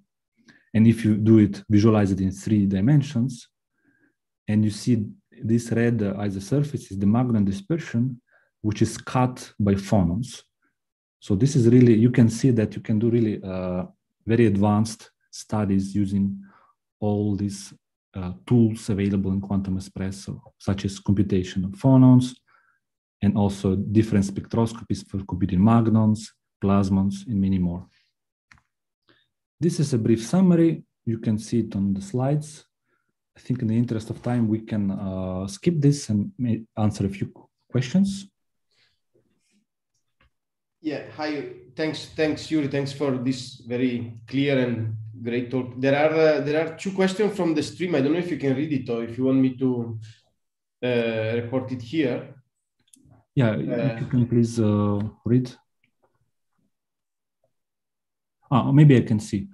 Yes. So TDDFT cannot describe double excitations, or this applies only to TDDFT LDA. Yes, so what I said, I meant TDFT LDA. So, I mean, double excitations is when you uh, system, system observes uh, two photons, one after the other. So I'm not very, uh, I'm not an expert in this field, double excitations, but I think you need to, to use probably more advanced functionals. But um, yeah, I'm, I'm not an expert in that field. And then uh, what else? There was just another one from the streaming, I think. What is optical electronegativity? Yeah. Delta chi star. I'm not sure I understand what do you refer. Optical electronegativity. I never mentioned during my talk about electronegativity. So maybe we can clarify during the hands-on. Um, is it also possible to include time dependence of phonons quantum espresso? So this is a very good question. So currently, uh, no, it's not possible. So phonons are now computed at a static uh, level. Extension to the time domain is, I think it's complicated and not currently done. I think there are some uh, efforts ongoing in the community, but the best would be, of course, to have phonons and and magnons, for example, both described at the same uh, level of theory, time dependent, and that would be naturally that would naturally allows us to describe magnon phonon interaction fully ab initio without any model Hamiltonians. But there is still some work to do in that direction. It's quite complicated. And can we study extended systems with TDDFT with quantum espresso? Depends on the spectroscopy. If you want to study electron energy loss spectroscopy, yes. TDDFT with uh, local, semi-local functionals describes pretty, pretty well plasmons. But if you are interested in uh, optical absorptions for solids, unfortunately, TDDFT with local semi-local functionals does not give satisfactory results. Either you need to use uh, advanced functionals, exchange correlation kernel, or you need to use GW and Bethe-Salpeter with Yambo code. So I would rather go and use Yambo uh, with GW and Bethe-Salpeter is the Magnon phonon code in mainstream of QE 6.7.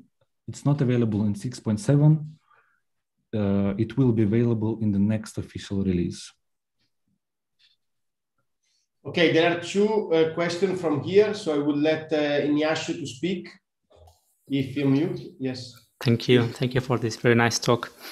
Um, so usually many-body methods like the Bethe-Salpeter equation scale very badly with k-points and they require many k-points to be converged. So how does that apply to these methods? What is the requirement of, of k-sampling for these methods to be converged? Okay. Uh, do you refer to which spectroscopy? Mag uh, magnons. Magnons, okay. Yeah. Yeah, so there is also summation over k-points. So Mm, it would be great to use symmetry to reduce um, number of k-points. Unfortunately, at present, we have the code which does not include symmetries, so it's really expensive. Also, the limitation of the code that it's used only with norm-conserving pseudopotentials. Hmm. ultra soft and PAW are not supported.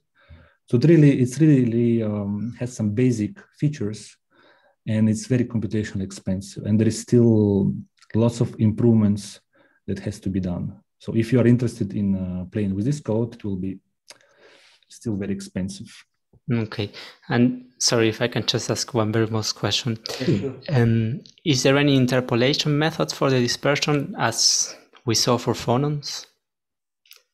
Ah, okay. Um, no, we don't have anything now. It, it's actually interesting point, but uh, at present we don't have anything implemented. Okay. But this okay. is a good point. Thank you. Thank, thank you very much. Thank you. Okay, there is another question from Daniel Torres. If you can unmute. Um, uh, hi, thank you for the presentation. And uh, I, I, I, have this question. Um, chiral molecules and crystals have the property of rotating the polarization of light. Can this effect be calculated in quantum espresso with one of the methods we saw today? Okay. Uh, as far as I uh, understand, no, this cannot be done at present. But this is uh, indeed very interesting um, point. But I think at present this cannot be studied. Okay. Thank you. Thank you. Uh, we have one more, Yuri, from uh, Ryan Doody. You can unmute now. Yes, uh, thank you for the talk. Um, I was just wondering, you introduced the external uh, perturbation in the length gauge. Um, is there way can you implement it in different gauges, such as the velocity gauge, and is there any advantage in doing so? Okay, um, I'm not very um, familiar with this. Um, so concerning the advantage, unfortunately, I, I don't know uh, the answer. I'm not familiar with this. Uh, regarding the point whether we can implement it, that was the question. Can we implement it? Uh, so, well, yes. Now it's not available, but uh, we, we can we can try to do that. Maybe if I have some better an answer, I'll try to to post on Slack. Apologies. I don't know if Daniel Torres uh, wants to ask another question or if he's still raising the hand from earlier. Maybe you can speak. No, sorry. okay, no other question. So um, there is I think one question on on YouTube. Yes. Is the real-time TDD, TDDFT implemented within QE? So in the official distribution of Quantum Espresso, it is not available historically there were uh, different efforts for the real-time uh, TDDFT, real-time propagation. I think there was some work by Ralph Gebauer, there is work uh, by Davide Ceresoli. Um, probably those codes are somewhere around, so can, we can try to investigate, but in the official distribution, we don't have real-time propagation. If you are interested in real-time propagation TDDFT, you can try to use uh, some other codes um, by the group of uh, Rubio, for example. They use real-time TDDFT. Don't know if you want to take the last from streaming. There is the last question from streaming. Yes, yes. Uh, we can calculate, we can also calculate EELS by epsilon dot x. Which method is good? So that's true with, uh, there is another code called epsilon dot x, which is very simple code but it's based on the independent particle approximation. So it doesn't take into account uh, electronic interactions like Coulomb and exchange correlation. So if you compute with epsilon x, you will obtain EELS, but that would be like lower uh, accuracy. It's based just on DFT uh, wave functions and eigenvalues, so that will be very approximate. With uh, TDDFT and turbo EELS code, you can have a higher level of theory to compute uh, EELS spectra. So I would recommend to use TDDFT. Okay, Yuri, there, there was one late, I don't know, uh, Nikita, are you still here? Uh, there was one person that was raising the hand. I think okay. he closed it. Ah, yeah, he comes. I think this is the last question, then we close for the break. Okay. So it's from the audience here on, on Zoom. Uh, Nikita uh, Shecheblanov. You can speak now. Okay. Uh, I'm just interested uh, that if we apply the laser field, laser field should affect uh, through the optical nonlinearities, and yeah. it, it, it it means that you should accomplish the system with the equation for description of electric field. Is the electric field equation is complemented the time dependence function theory at present? implementation? Okay, so I think uh, no, currently not. So if you irradiate your sample with electric field, I think uh, if I'm not wrong, you're referring to intense, intense laser field. Yeah, well, so, the optical nonlinearities is really affects yeah. the laser. And you're referring to nonlinear effects, correct? Yes, it is. Yes, yes. So this is cannot be done currently. So in, in the beginning of my talk, I, I, spoke, I discussed that we have linear response regime and non-linear. So uh-huh. what all what was covered today was all linear response. So indeed, if you radiate your sample with intense laser field, you have nonlinear effects. And in, the way to go, you need to use real-time propagation TDDFT. Again, uh, there are some works uh, by uh, Angel Rubio and their code, Octopus. Mm-hmm. So if you are interested modeling that phenomena, I would use that code. In particular, uh, you can interpret some uh, ultra-fast uh, experiments, pump and probe. But with quantum espresso, this is, cannot be done currently. Okay, thank you. Thank you. Okay, very good. Thanks a lot, you again. And uh, we Mhm. can now break and uh, be back uh, with the lab, which I think is still uh, still yours, right? So see you, Yep. see you in a bit. See you. Thanks. Thank you very much.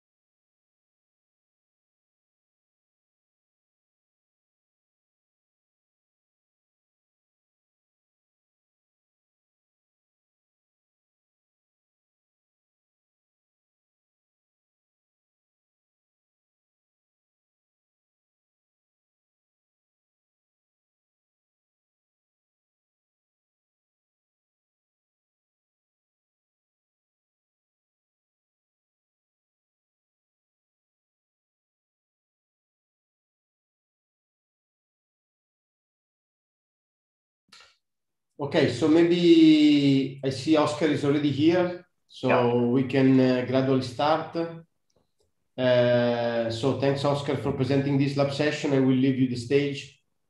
Uh, I don't know if you want to share the slides, if you want to Yeah. make a test before we start the streaming.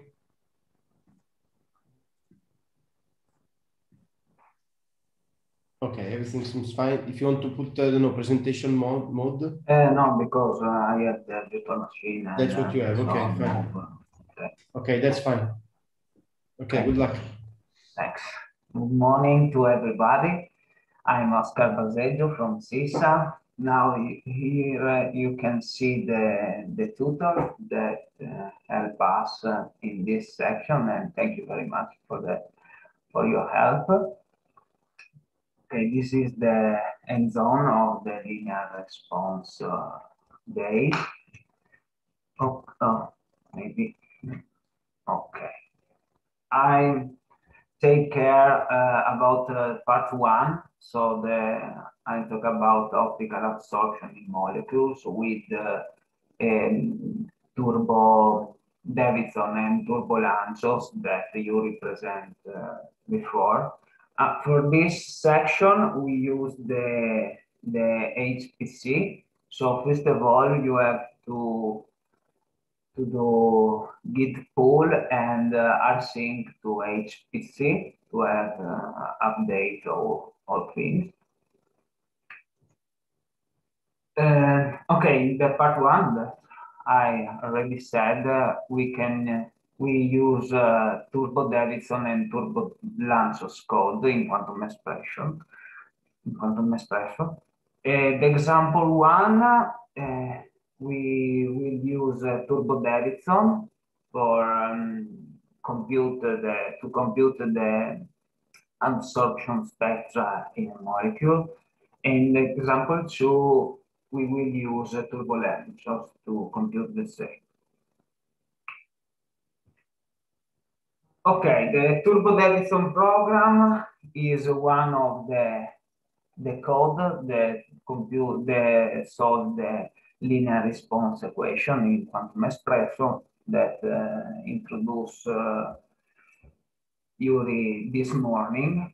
Okay, first of all, uh, we can uh, we we will compute the the the spectra with the um, independent uh, particle approximation that is the the um, the easiest uh, approximation that we can use. And then we introduce the the interaction and compare the the, spec the spectra that we obtain later. Okay, the Turbo Davidson used the Casida Davidson algorithm that you represented this morning. And uh, the okay, no, go go on. Uh, this is the the the Turbo Davidson uh, the Davidson Casida equation that you represent this morning. And first of all, this is the in red is the interaction term. So first of all, we neglect this part to compute the, the spectra. Okay.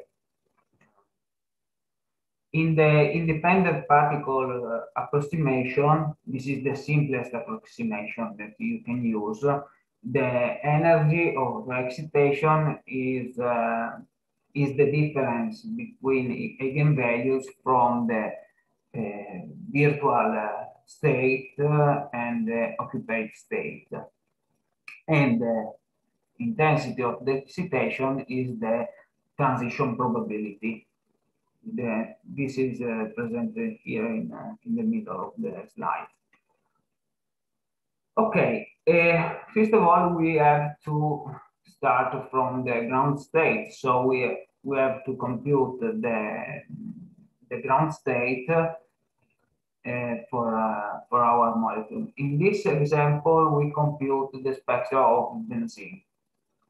Okay, this here you can see the, the PW input, but I, I think in this week, in the last week, you you now able to, to run the PW. So move on the on the on the terminal to example one. Here you can see the PW input. This is uh, to compute the, the ground state. Turbo Davidson input. The, to, to run Turbo Davidson and solve the linear response. Turbo Spectrum input. This is the post-processing uh, um, compute to to, to compute the, the spectrum in the final. And also you have here the, the plot script to, to plot the, the spectrum with, um, uh, with gnuplot. Now we can check the, the input of PW. Okay, here you can see the atomic position for the benzene. Uh, uh, I think you uh, now know everything uh, about this type of input. Here you can see the number of bands that compute. The Turbo Davidson needs uh, some virtual virtual states indifferent with the turbulences that need, don't need the, the virtual uh, the virtual uh, states. So now compute on uh, HPC um, in remote, run the in remote the this this uh, PW in, in, remote. So remote MPRI, MPI run, PW dot x minus sorry minus in PW. No, maybe I, yeah, okay. In this, uh, I think is uh, already done because the PW is uh,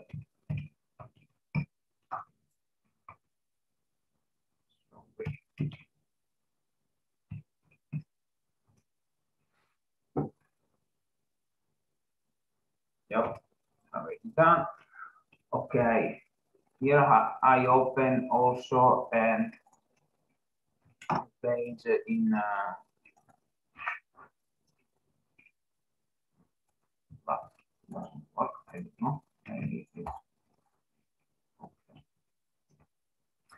okay. rsync the output from uh, from HPC.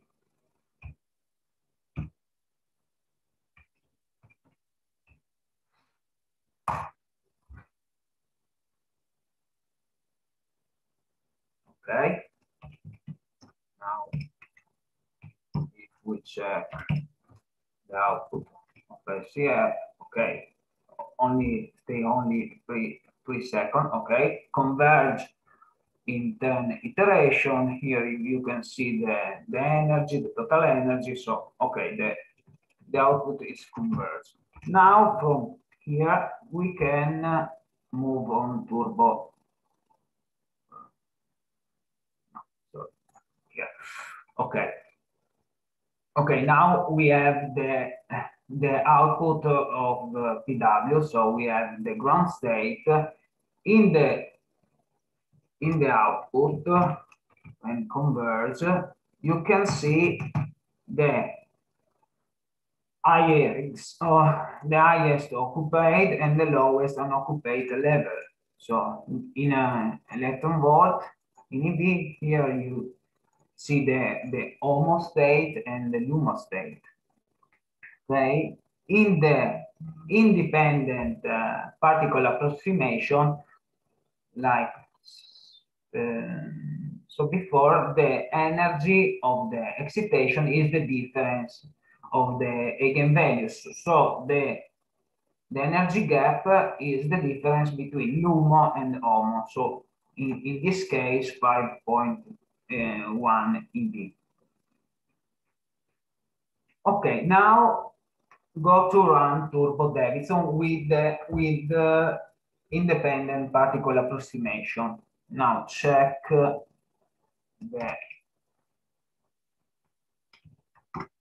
the Turbo Davidson input. Okay. This flag, if the FT spectrum equal true, in default is false. When uh, you put uh, true, activate, uh, switch on the independent particle approximation. No, now we can uh, we run with the um, independent particle approximation. This uh, is um, an obsolete uh, variable for this case. In the next version, we, you didn't use this, um, this variable. Okay, this is not important for now. Now go to run the uh, the turbo Davidson. So we can do the same uh, remote CI run. Now we use turbo Davidson.x. My, my in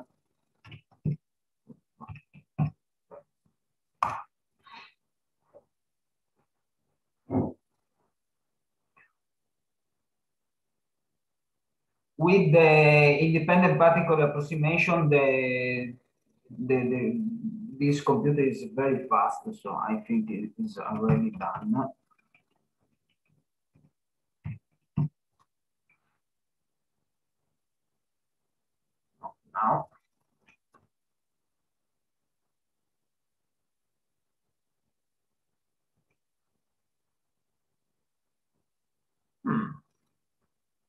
Maybe I have I haven't updated the no check.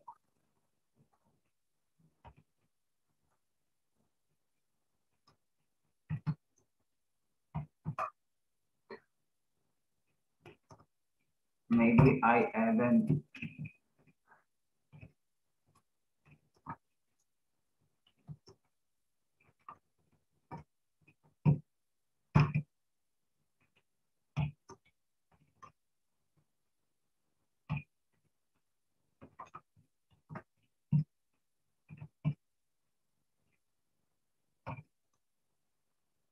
Yeah, yeah, I'm wrong, sorry.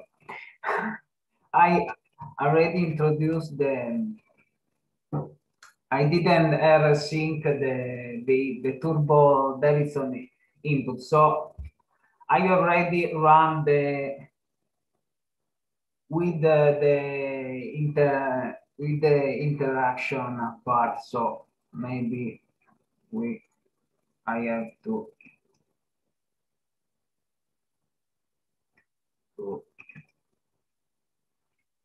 maybe it's uh, already finished because it's not. Sorry.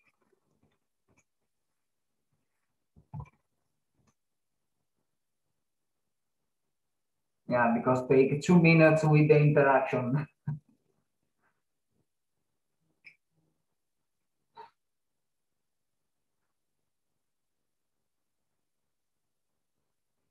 Maybe I can do a remote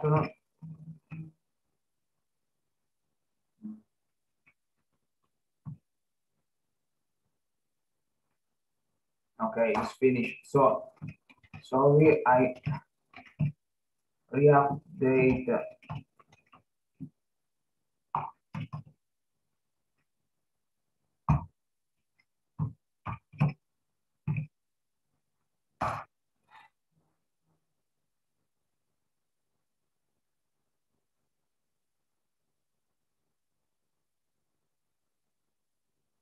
Okay, now maybe use update.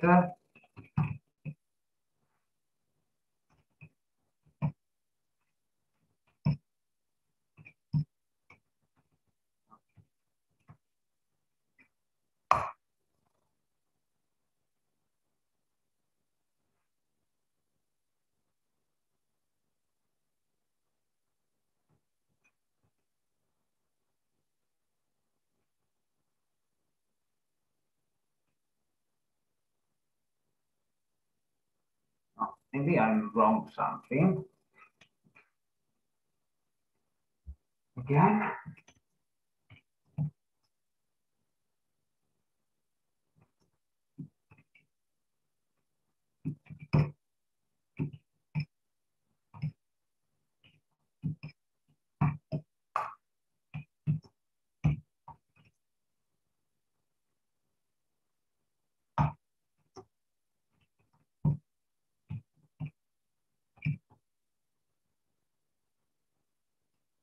Okay, uh, I'm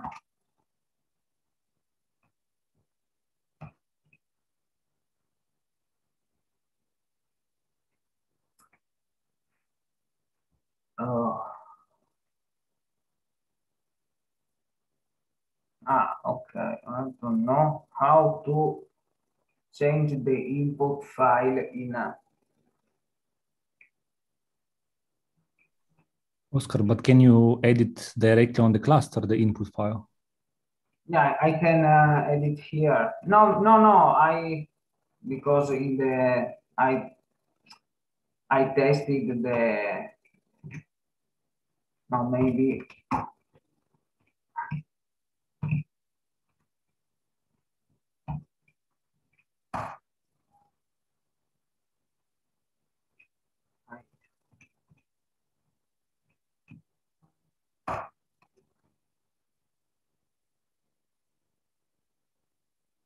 Okay, now I update on the cluster there. And you have to update the, the file. So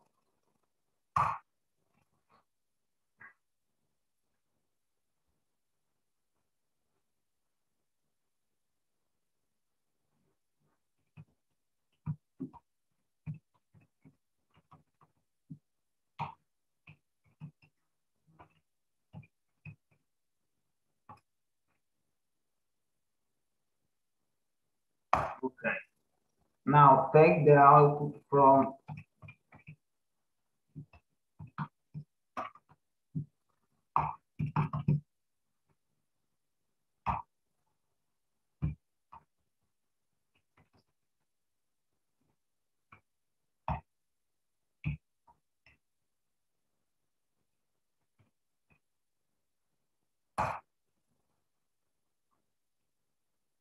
Okay.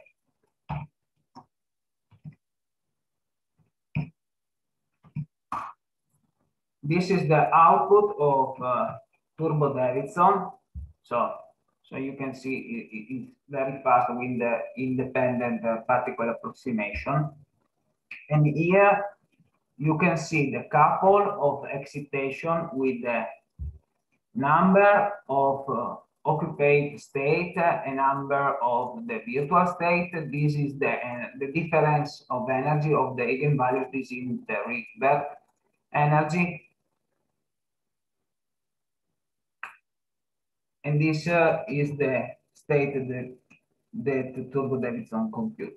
Now go to uh, compute the, oh no, go to now go to the, the post-processing steps. Uh, so you can, we have to use uh, Turbo Spectrum to compute the, the spectrum of benzene from this file. You can, uh, the Turbo Davidson create also the eigenvalue file that you can see in the, close this one.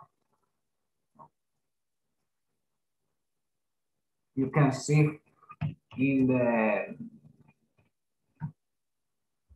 in the HPC, you can see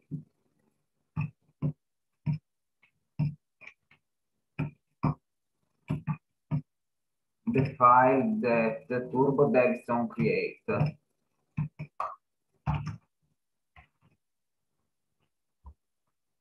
Turbo Davidson create this this output and the eigenvalues file.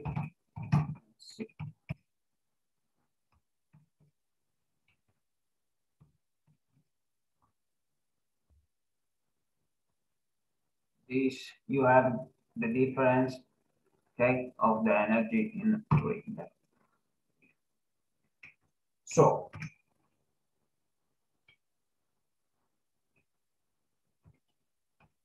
go to see the turbo spectrum file. You can see also this uh, prefix out here is the is the same for quantum espresso for PW this here you can see that the method that you have to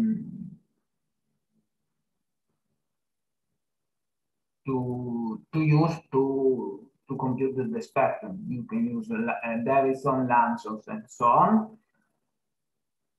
Maybe check from the okay. Here, start and end, you can see the the energy of the the spectrum that you want to plot. The increment is the distance from point by point that you can plot the, the spectrum, the frequency. Epsilon is the Lorentzian broadening because you can you plot the, the spectrum, the turbo uh, turbo Davidson compute a, a root spectrum, but you uh, you can uh, broadening the the, the, the the root spectrum with the Lorentzian, and the epsilon is the broadening uh, of this uh, Lorentzian, and this is the file that you when where uh, turbo spectrum take the eigenvalues. Okay, run the turbo spectrum maybe before I update the file on HPC. Uh, Turbo Spectrum you can uh, run also in uh, in uh, your lab because it's uh, it's very fast, but to don't uh, take everything from the from the HPC and run on on the cluster. Okay.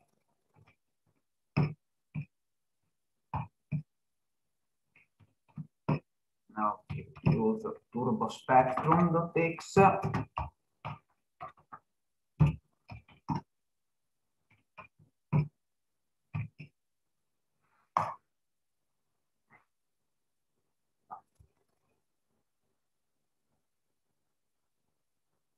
I can open another to this.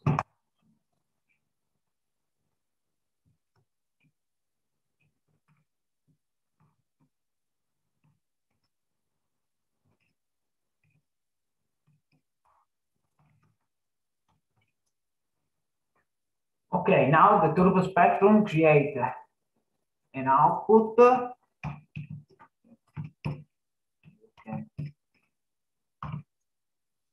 Here is only read read the file and it's okay. If uh, print some error, if uh, there are some error, and also this uh, this file that contain the data you can use to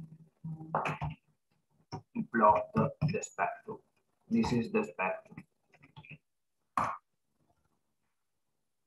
You can see you have the, the energy and the intensity of the spectrum. So you can plot this, uh, and this is the, the three components of the spectrum.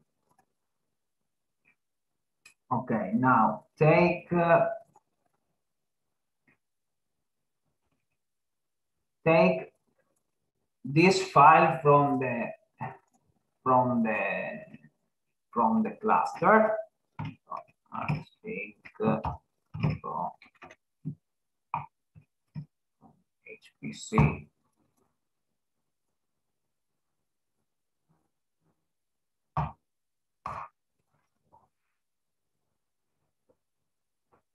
Okay. Now,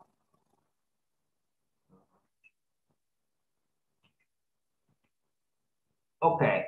And now we can use this file to, to use the plot scriptum to plot the, the spectrum with the GNU plot. So, open GNU plot dot uh, I don't remember. Spectrum.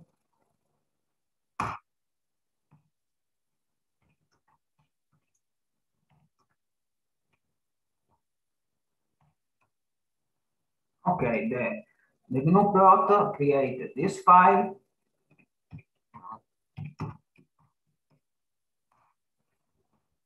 And so here you can see the spectrum. Now check it. Okay, you can see the energy of the first excitation at 5.1 MeV. The same difference that you we can see from uh, the PW output.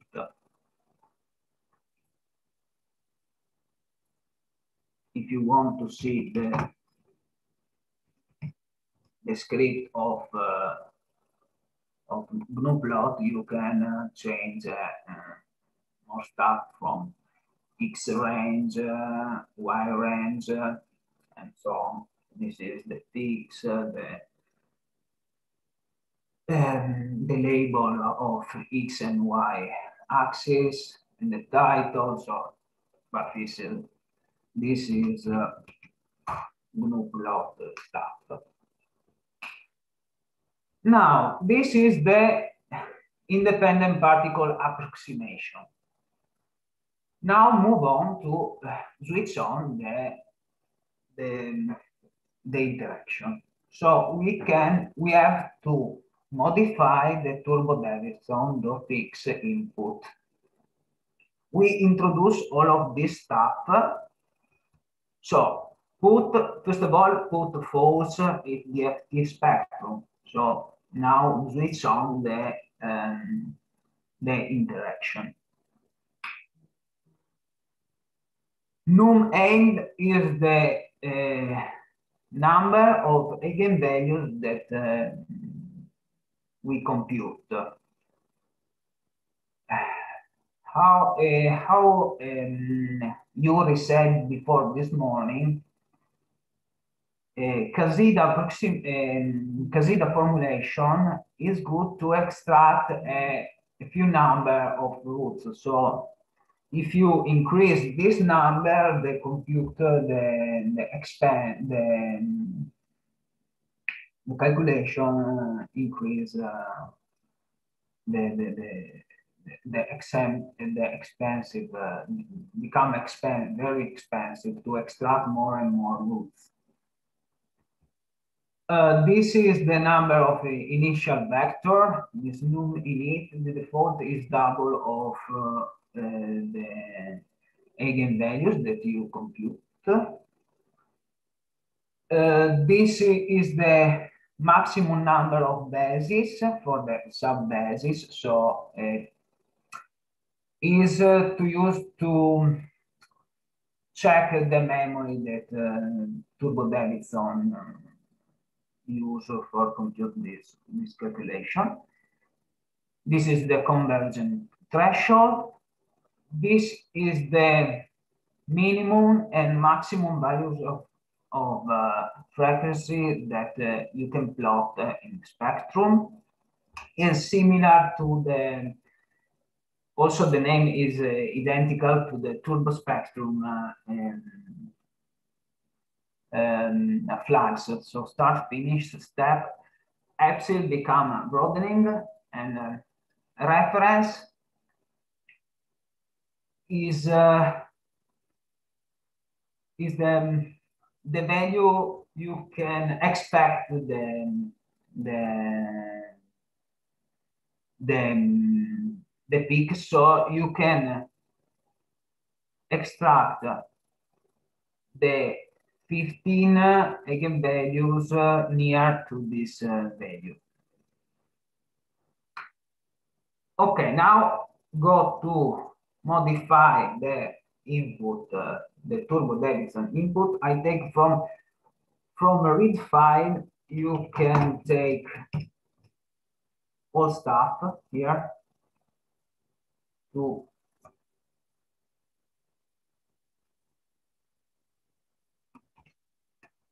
no.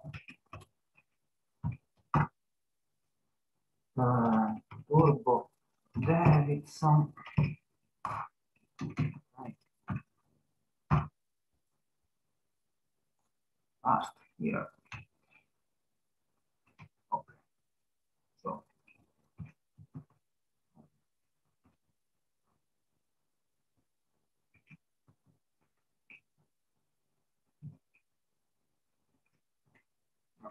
okay. Num init is the same.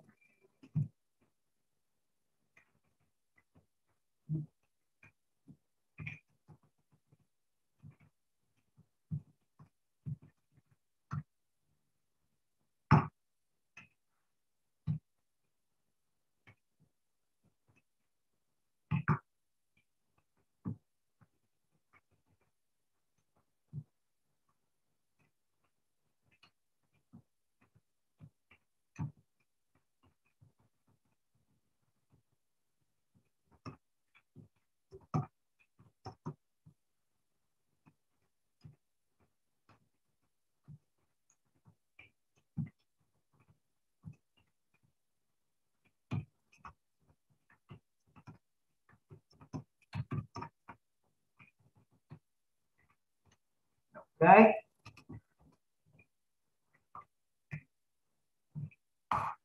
Ah, so it is not necessary rerun PW. If you save the TMPDL from PW, is you can use uh, the same. So now I have updated the, the, the turbo Davidson input. So I sync to, to HPC.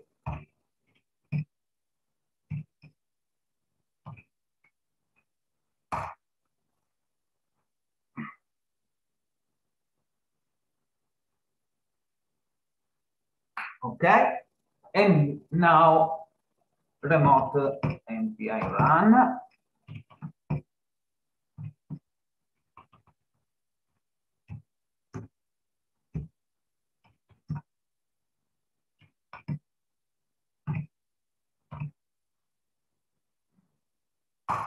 Okay.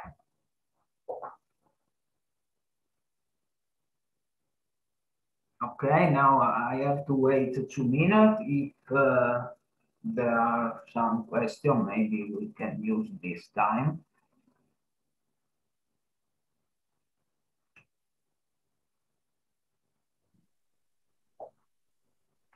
Oscar, there is a question on uh, YouTube. Oh, okay. I can, do you want me to read it? Yeah, yeah. So the question is uh, any particular criteria or limits for number of eigenvalues to be calculated in step one apart from computational cost?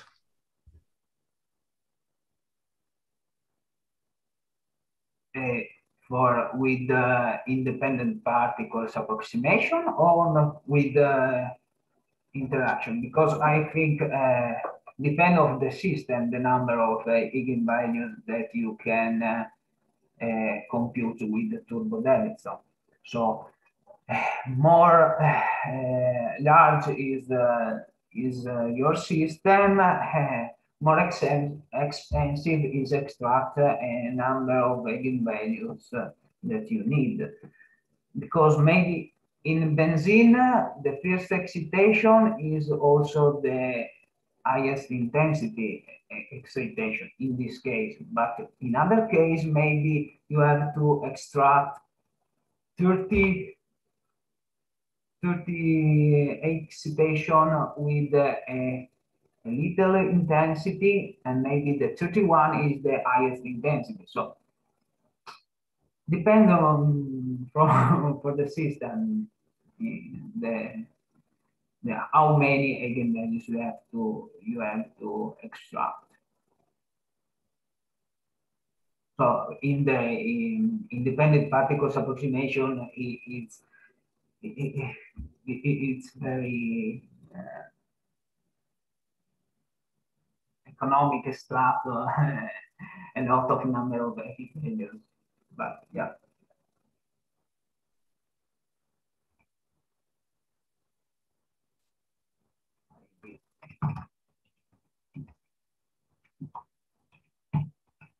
Oscar, there is another question uh, in the chat of Zoom. Uh, so it's written, I think the reference tag was missing in the modified input file. Does it matter? Will it find the peaks anyway in this case? Uh, in this case, is not, uh, don't change, uh, don't worry because, okay, in this case, uh, I extracted the, the, the lowest, uh, uh, the, the lowest uh, excitation. So in this case, it's not uh, necessary. Yeah, so if you don't specify a reference, it means it's zero by default. Yeah. So the Take code the will- lowest uh, yeah. excitation. Okay, I finish. So I take from the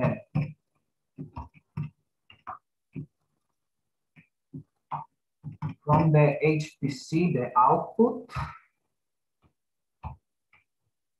So you can see the difference. Mm. No.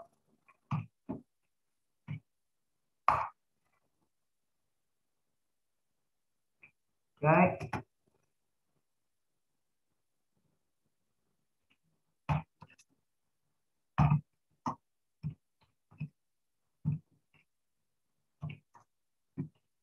Okay, now take two minutes. No, so the difference between independent particles approximation two seconds to with the interaction two minutes. So you understand the, the difference. Okay, here you can see all every excitation, every 15 excitation. I want to show you the so here you can see the convergence iteration the, there is an iteration. So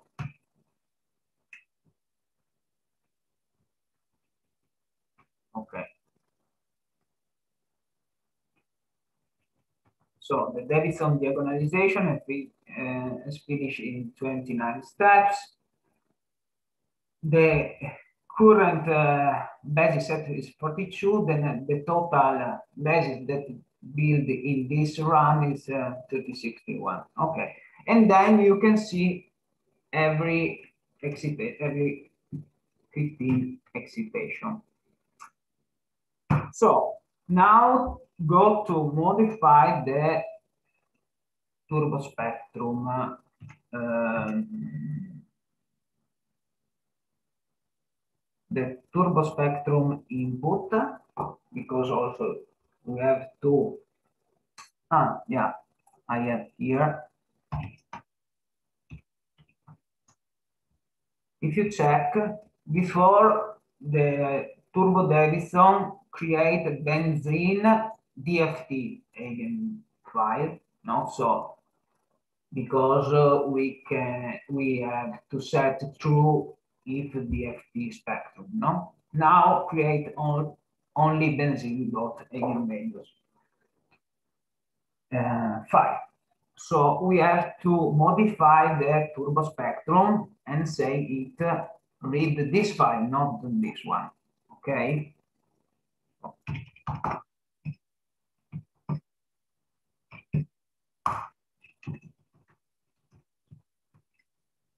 We have to this and I think. So to sync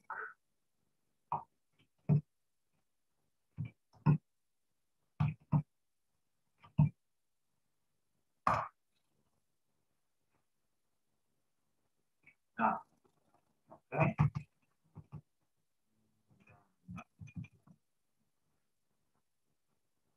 we run turbo spectrum.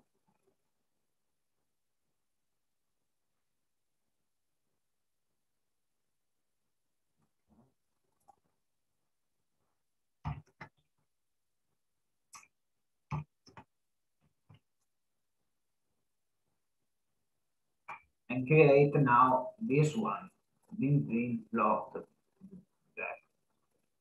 Okay, so copy from uh, from uh, from HPC the dot file.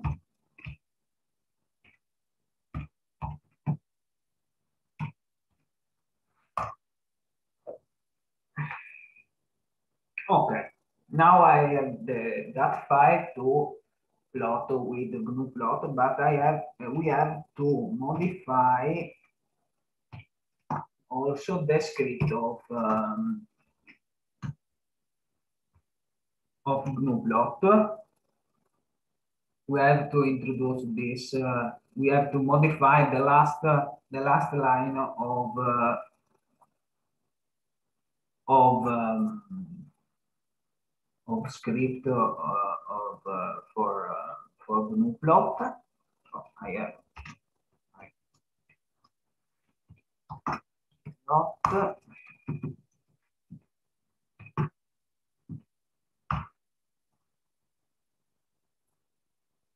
Okay, and uh, then uh, uh, it's better reduce the the highest uh, value for wide range because the intensity is uh, is lower, so you can see the the peak with uh, 100 for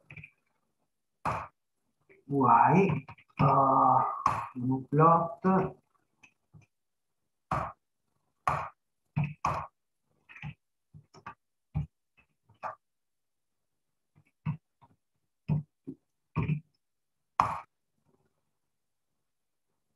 Ah, it's a little bit, so maybe we can uh, reduce uh, more the, the, the wire length. Okay, you can see that here the, the blue peak with the interaction.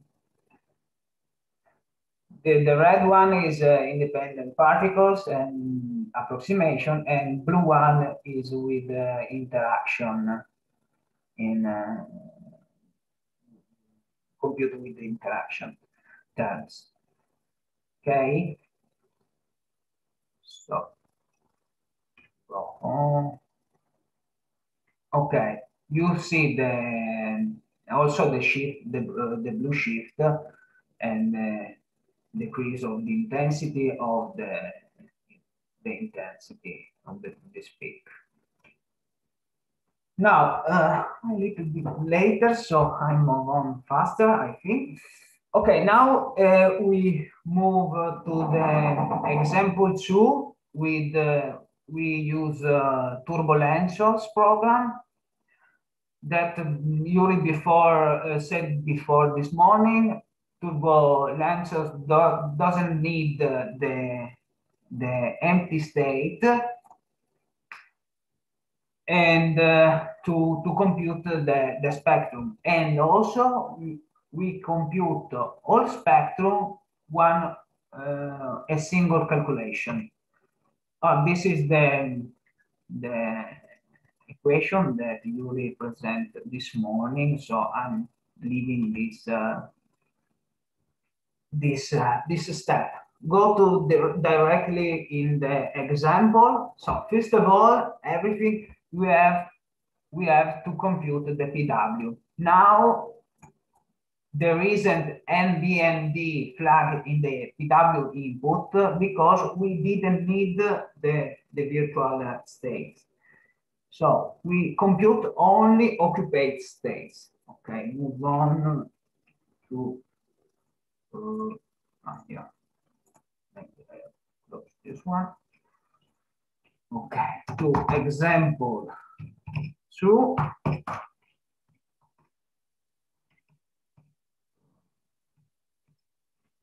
If you check, there is an NB ND flux. So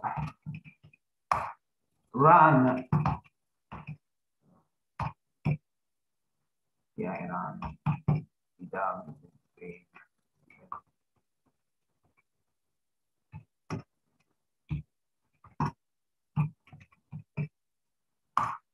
Okay.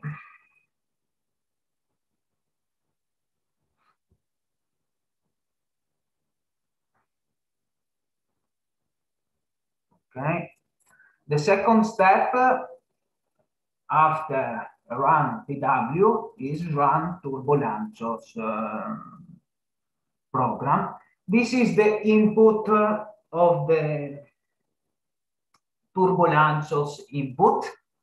So you can see this uh, LR input is the same for Turbo Davidson and the other code with the prefix uh, out there. This too is important. This is the restart step. This is 100. Every 100 iteration, the code print a restart. So if uh, something the, the, the program kill after 250 iteration, you have saved you have saved 200 iterations. So you haven't lost everything, okay? So every 100 iteration, the, the program print a restart file. And this restart files is uh, when uh, when you want to restart from a, an older file, you can put true and restart from the last iteration that you uh, compute. In the layer control, the iter max is the number of Lanczos iteration that you compute now, and um, ipol is the polarization direction. So you can in this case, we compute x uh, direction, but also with two is the y direction and three is the direction. So uh, go.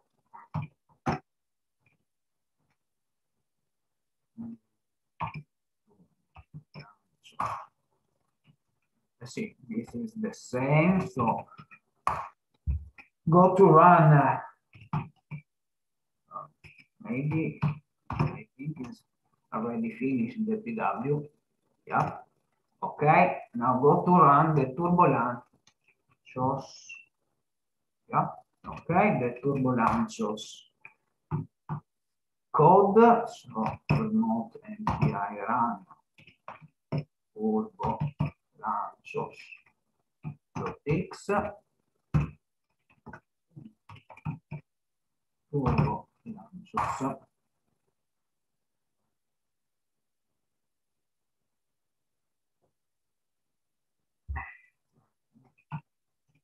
So also this uh, step uh, takes uh, a few minutes, I think.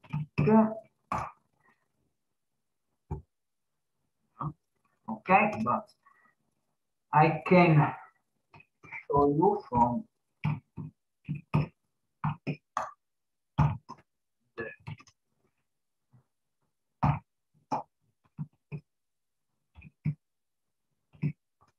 I can show you the output. This you can see every iteration, iteration, every Lanczos iteration. So for every iteration, print an alpha coefficient is the diagonal one that Yuri show you is every uh, is zero. You know, this is the diagonal. This is the beta and gamma. So this is the three diagonal the coefficient of the three diagonal matrix. So you can see every iteration, uh, turbo Lanczos print alpha, alpha, beta, and gamma, and this is Z. So this is for the to compute the, the spectrum. So now the turbo spectrum read this coefficient and compute the spectrum. So maybe, ah, the job is done. So compute 500 iteration of for benzene. Now, okay. Now go to turbo spectrum. Okay. spectrum. Okay.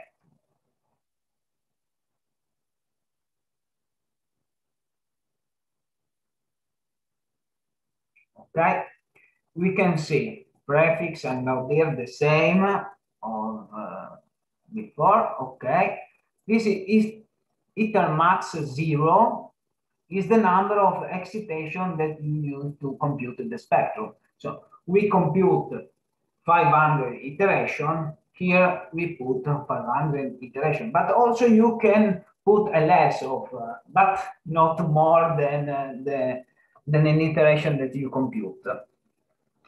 Itermax is another number for the iteration.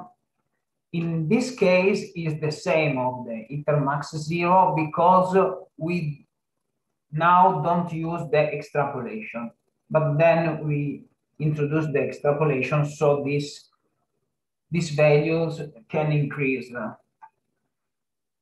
Epsilon is the same for the turbo Davidson, so it's the broadening of the Lorentzian start and then is the value of the range of the spectrum that you compute. The increment is difference point by point for the spectrum, and the pole is the direction that you compute. So we computed the x direction, so here you have to put uh, the x direction. If you put uh, two or three, the, the, the calculation crash, the, the compare the uh, an error. Okay, run.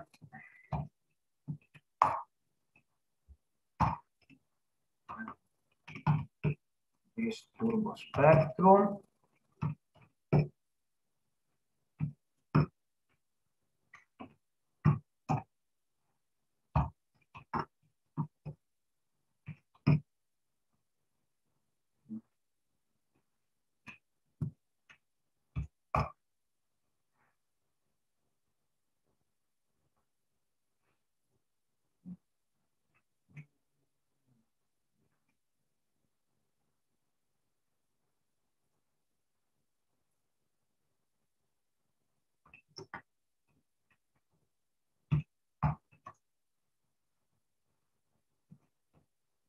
Okay.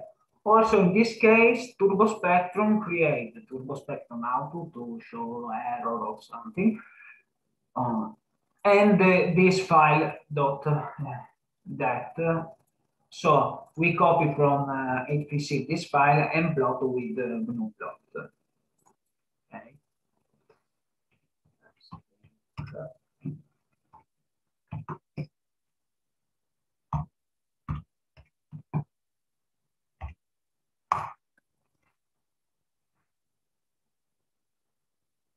Okay, so we can check the plot spectrum. So you can see the X range, the benzene. This is the file that read.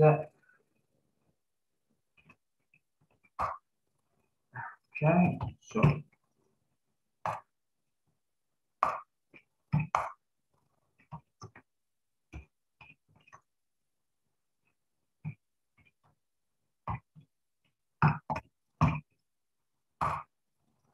Okay, this is the spectrum that we compute with 500 iteration. Ah, you can see we have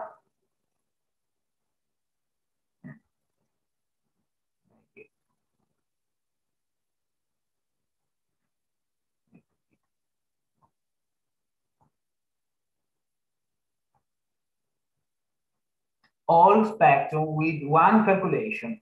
So this is the, the, the, the pro of the, of the turbo Lanczos. You compute all spectrum by one, one computation. Now, we uh, had extract only 500 iterations. There are possible that uh, you um, oh this is okay the that I said before Itermax is 500 so you have to use uh, Itermax 0 500 and this is without extrapolation also you can uh, compute uh, a more iterations. So from 500 to 1000 to 1500. Maybe you can try alone this because the time is not uh, okay for me. But uh, important thing, you use restart true. So now you have computer 500 iteration. So if you put here true, restart equal true, the computer start from 500, not from zero. So you can put here 1000 or 1500, restart true. So compute from 501 to 1000 to 1500 uh, iteration. Okay. And here you can see the, the difference from 500 to 1000 to 1500 iteration. Okay, that uh, um, like um, Yuri uh, showed before in this morning, this spectra is not really converged. So you can see the the spike, no, the peak, very uh, with very spike. So this is not converged. So you can uh, compute more and more interaction until the convergence of the spectrum. Or you can use uh, a trick uh, in, for turbo Lanczos. Now here you can see the, the coefficient Lanczos that, that I showed before in the output of Lanczos. No, every iteration you have alpha, beta, and gamma coefficient of the triagonal, uh, tri-diagonal matrix. Here is the plot of the of the beta coefficient. You can see beta, okay, here. There are two different types. This is the odd one and this is the even one. So you can see the coefficient is around of the half of the kinetic uh, energy at all. Can put 30, uh, the, around uh, 50 Rydberg, okay, in this case. But you can see that uh, coefficient uh, after a, a start point, we can see is change more, then uh, is uh, almost the same, no? Is uh, almost a, a, plateau, no? So we can uh, use an extrapolation method to mm, increase the number of uh, coefficient without to compute this uh, uh, coefficient. So we compute a, a certain number of uh, coefficients. This is the, the tri-diagonal matrix that we compute. Now I compute 500 uh, no? And we, we use the extrapolation to increase the number of, of uh, the, the number of coefficients. The coefficient that we extrapolate is the average of the beta and gamma coefficient that I compute. So more coefficient you can compute, more good is the coefficient that you can extrapolate. So, but with the the increase of the number of, uh, of the coefficient, the, the spectrum converge, uh, converge faster. So you can, this uh, trick is very good to, to um, obtain the converged spectrum without compute every, uh, a thousand and thousand and thousand on number of uh, coefficient.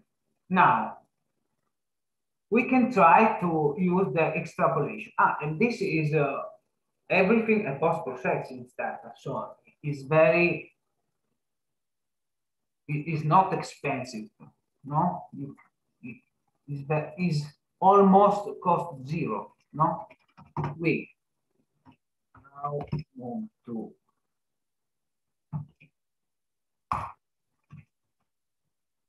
put here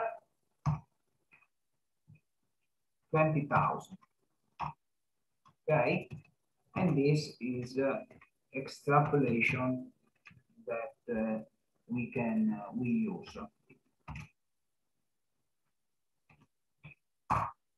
Now, async turbo spectrum.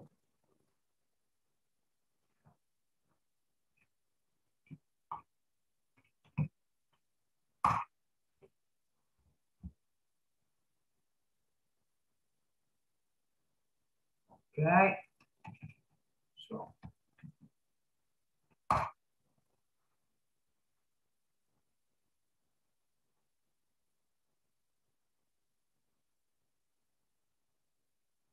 Now, okay. Now.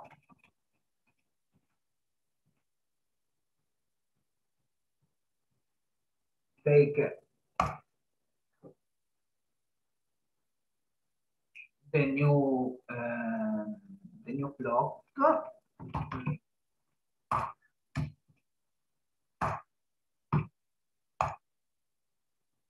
And go to see the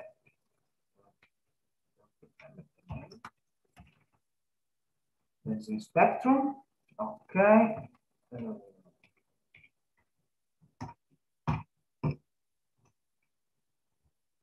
this is the spectrum with extrapolation. So you can see is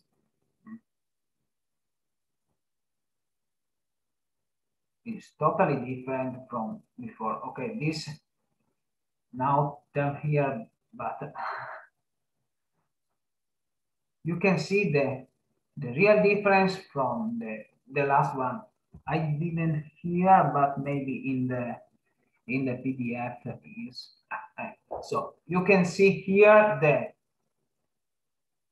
the the spectrum with the extrapolation. So you can see uh, here the uh, in red the 500 uh, iteration with extrapolation that I compute, and then 1000 iteration with extrapolation and 1500 iteration with extrapolation. And you can see the conversion from the spectrum. So the extrapolation is a powerful tool to, to arrive to the convergent spectrum without extract many, many, many coefficient uh, from uh, the turbo Lanczos. Okay, I'm a little bit later. This, uh, the, I, if there are some question for this pattern before I leave to, to Yuri, the, the second part.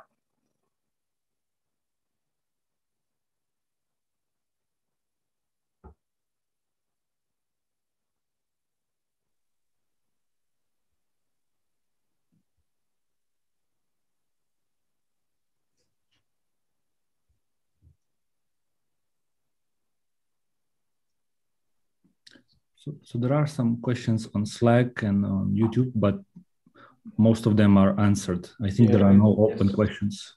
Yes. But if someone has some questions, please, uh, you can raise your hand.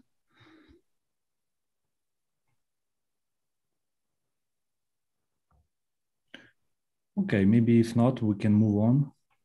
Okay, uh, thank you. And if you want to add me to create for me a breakout room, so maybe I can uh, help the tutors to, I don't know. Okay. Do you Thank you, thank you very much, Oscar. uh, um, stop there? Thank you, Oscar. Thank you very much.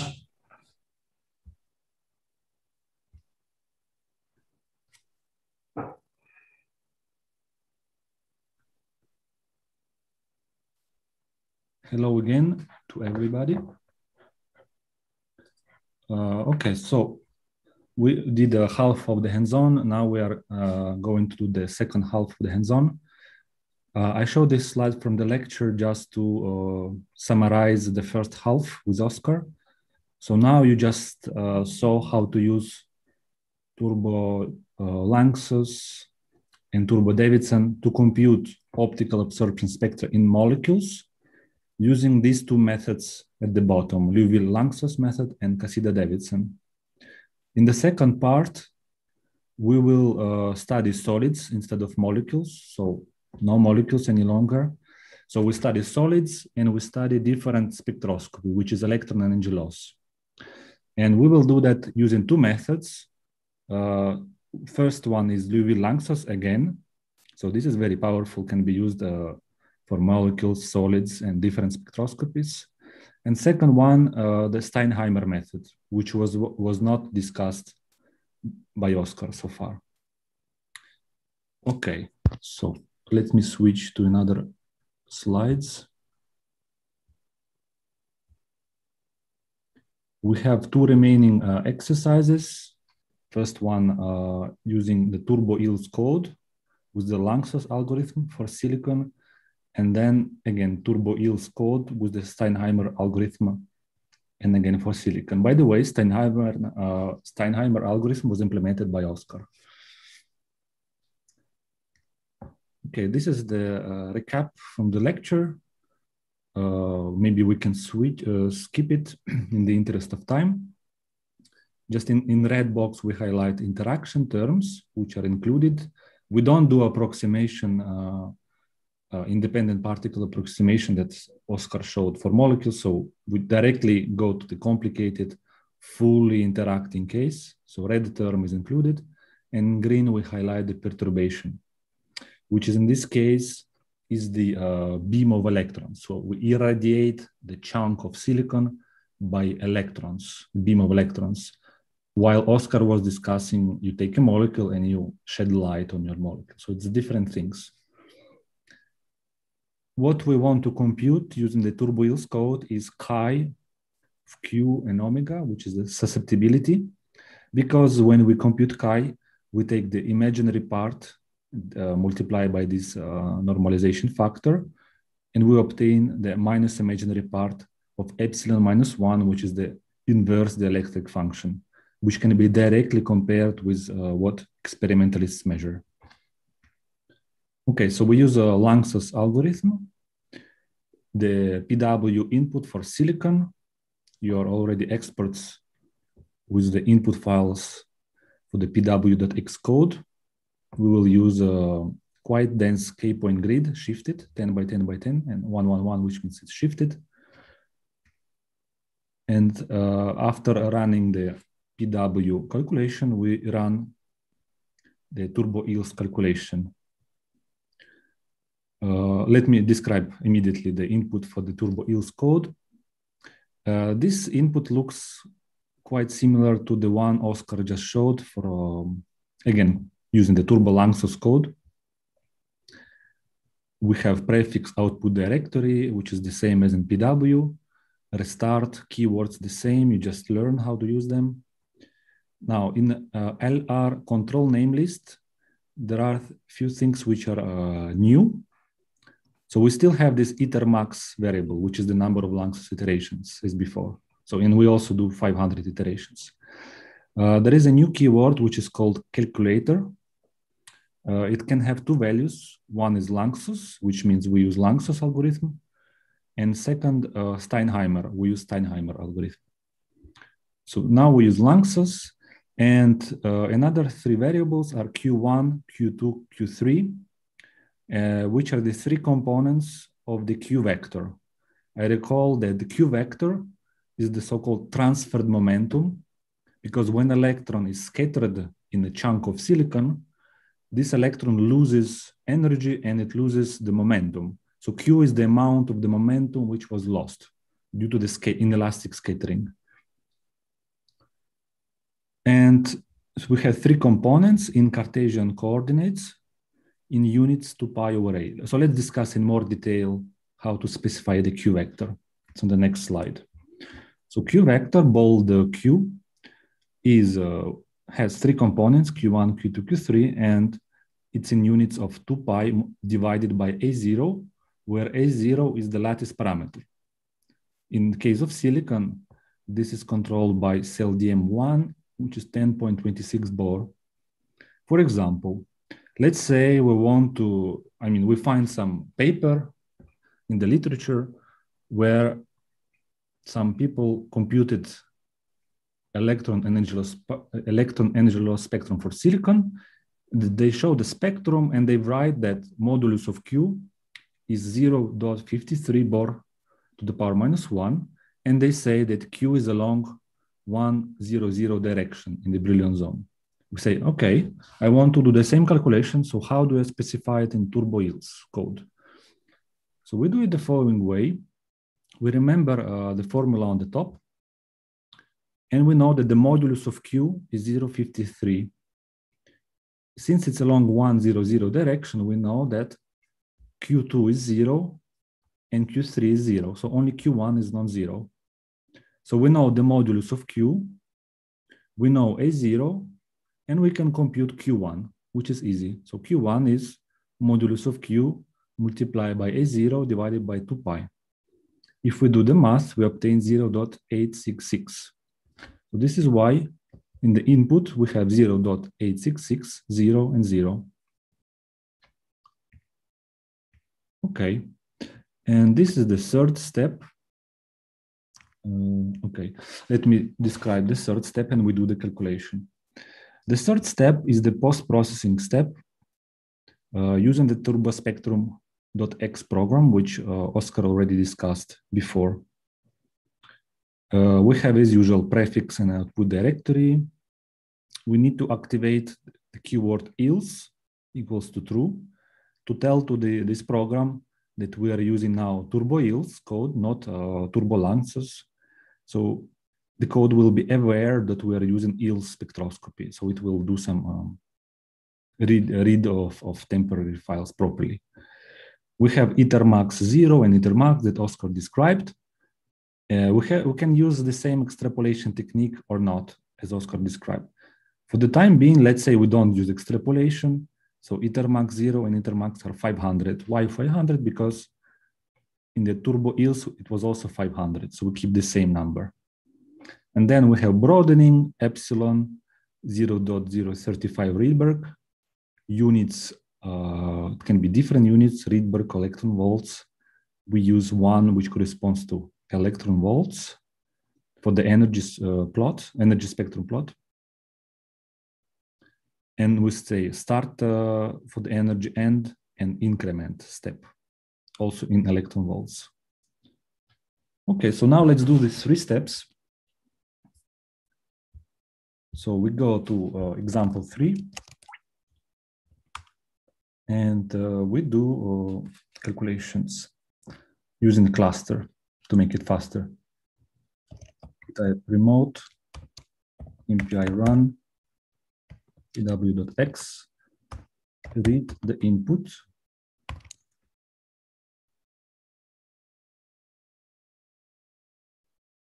Okay, we use 20 cores.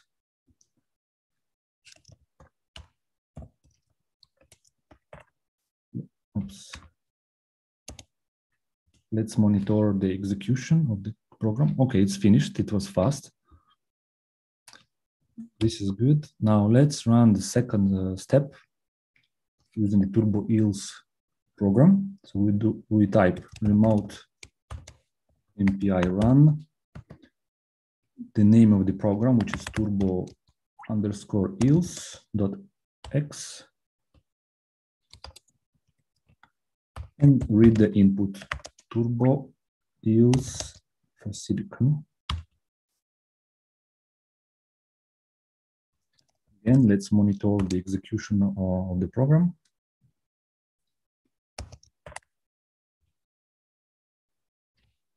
It's running. It should take uh, maybe a few minutes. We need to wait.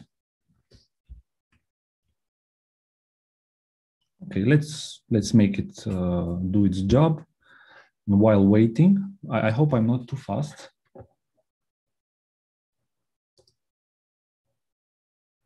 Okay, let's, uh, while waiting, let me comment on what we are going to obtain. So after the, these three steps, we will obtain a file containing information about uh, inverse dielectric function epsilon to the power minus one at a fixed q point, uh, q vector or q point, because q is fixed, and it will be the function of frequency omega. Of course, uh, this is a complex object. It's not a real function, it's a complex function. So we can evaluate the real and imaginary part of this function uh, using these formulas. And from the knowledge of the real and imaginary part of epsilon minus one, we can obtain also uh, real and imaginary part of epsilon. So epsilon minus one is the macroscopic inverse dielectric function. So to compute epsilon, we just take one divided by epsilon minus one. So these are macroscopic functions. And local field effects are included in the calculation. So instead, if it was microscopic uh, matrix, so one over epsilon minus one would uh, mean that we are neglecting local field effects. But in this case, we are already computed fully epsilon minus one and it's macroscopic. Then we can divide one over epsilon minus one, gives us epsilon.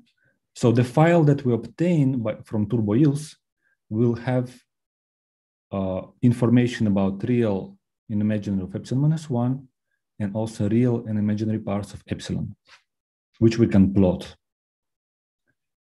Without extrapolation, we should obtain this figure so on the y-axis, we have intensity of the spectrum, of the EELS spectrum. And on the x-axis, we have energy. And we see there are wiggles because the spectrum is not yet converged. So let's see uh, how the calculation is running and, and if we manage to obtain the same figure.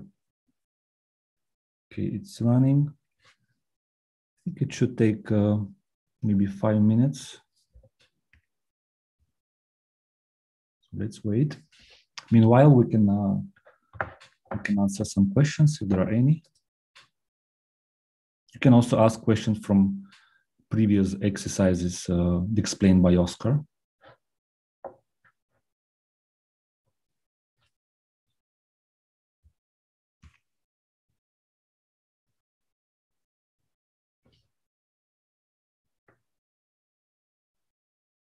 So now we will do just um, one calculation with 500 iterations.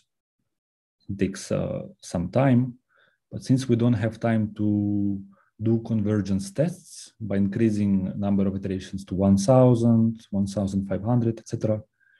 So you can do that when we finish the hands-on, and if you have problems, you can uh, ask questions on Slack.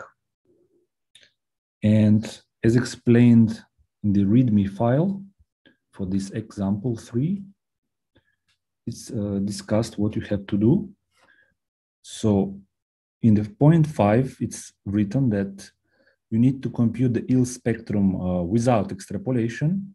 So extrapolation equals no for 500 up to 1500 with a step 250 and compare them on one figure and then do the same steps, but this time uh, using extrapolation technique extrapolation equal OSC, which is uh, by constant extrapolation. You can use the restart keyword, uh, as Oscar explained, to, to speed up uh, the convergence tests, not start from zero each time.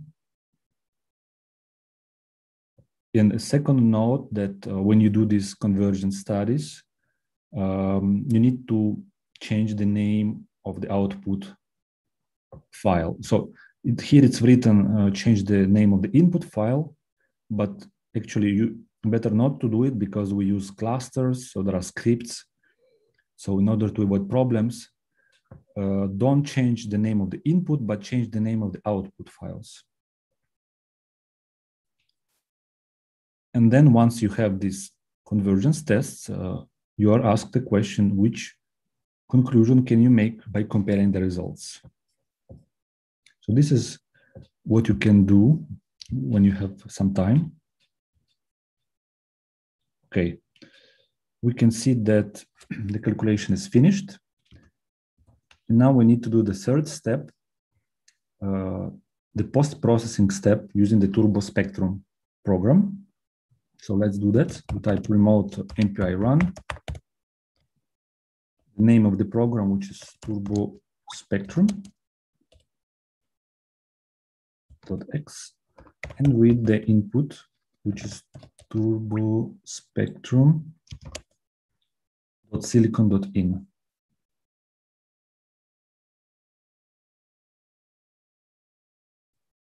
Okay, this should take just a few seconds. Because the post, if turbo eels takes, let's say five minutes, this takes five seconds. And indeed, it's finished. Okay, now it's time to copy files from the cluster to the local machine. But uh, on the cluster, if we connect to the cluster, we see that the program produced temporary directory locally. I mean, in this example, we do it this way, which has many files which we don't want to copy. Um, we have output files for Turbo Eels, Turbo Spectrum, but we are interested actually in this file which was generated, which we won't just copy this file. Uh, because this file contains information about real and imaginary part of epsilon and epsilon minus one. So let's remember this name and copy this to our local machine. So we just type rsync from HPC and the name of the file, which is silicon dot plot underscore eps dot dat. Okay, the file is here. Let's inspect it. Open the file.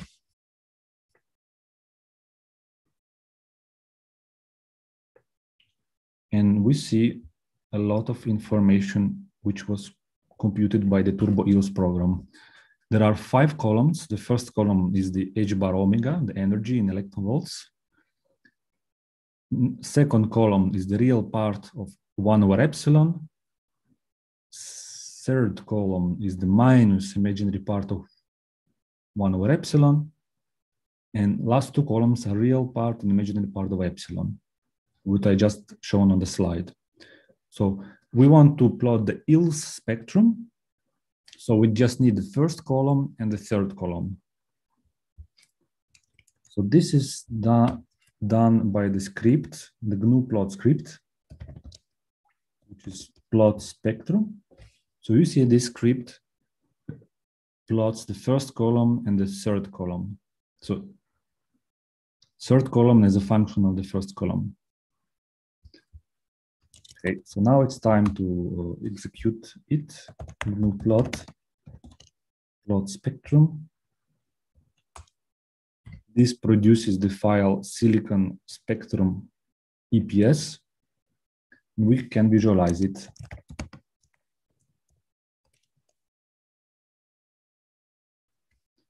Okay, so this is the spectrum electron angular spectrum of bulk silicon at 500 iterations without extrapolation. If you have any problems obtaining this spectrum, please uh, let us know.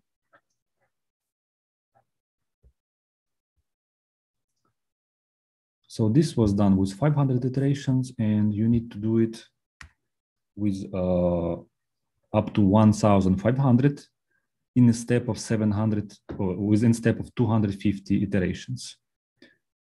And I recall you should use a restart option in order to save time. But what you can see, interestingly, that the spectrum converges when you decrease number of iterations. You see at 500 iterations, there are unphysical oscillations. You cannot compare this to the experiment. But now when you have more and more iterations, it gets smoother and smoother. And at the end of the day, with 1,500 iterations, you have a very nice, smooth, clean EELS spectrum of, of bulk silicon, which you can compare with experiments.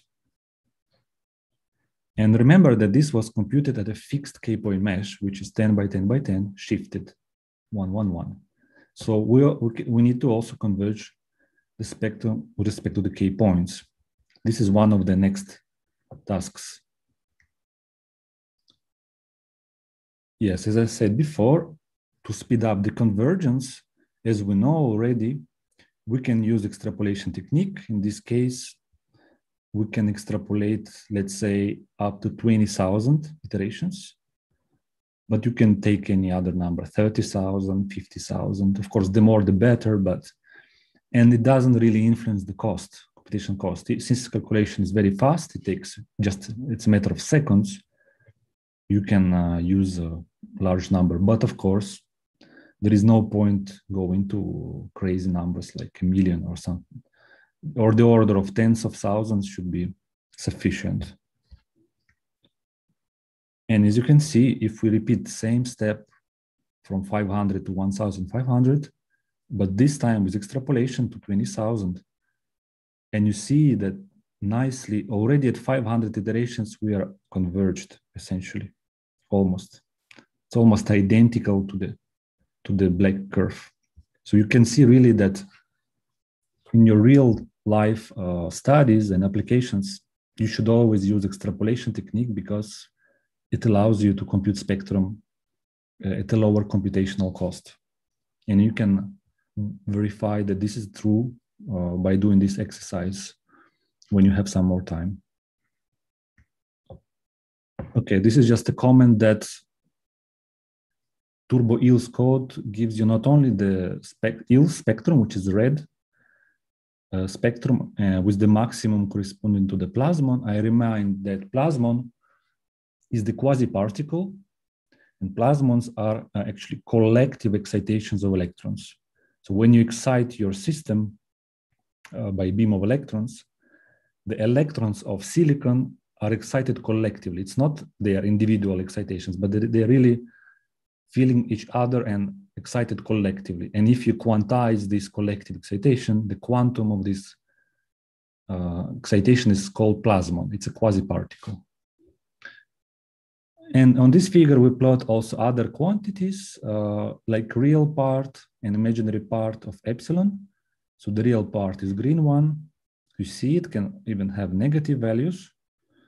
And imaginary part is this um, purple spectrum.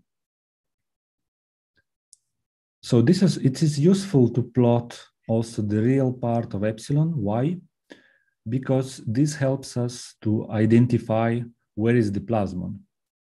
So the definition of the plasmon is that the peak in the red spectrum occurs at the energy where real part of epsilon is zero and the slope is positive. So we have zero, but we go from the negative value to the positive value. So this happens around uh, 16 eV, and the plasmon is around uh, 21 eV. So it's, you see, it's not really exactly the same energy. Uh, this is because of the broadening effects. So, but more or less, we can identify that that actually this intense peak is the plasmon. Okay. And by the way, just to comment, when there is also uh, real epsilon is zero, but with a, with a negative slope, it goes from positive to negative, you find peaks in uh, imaginary epsilon. Okay, and now we have the last example. Now uh, we have just little time left. So we have example four, which is the most complex example of the whole school. This is so because um, the implementation of the Sternheimer algorithm is very recent.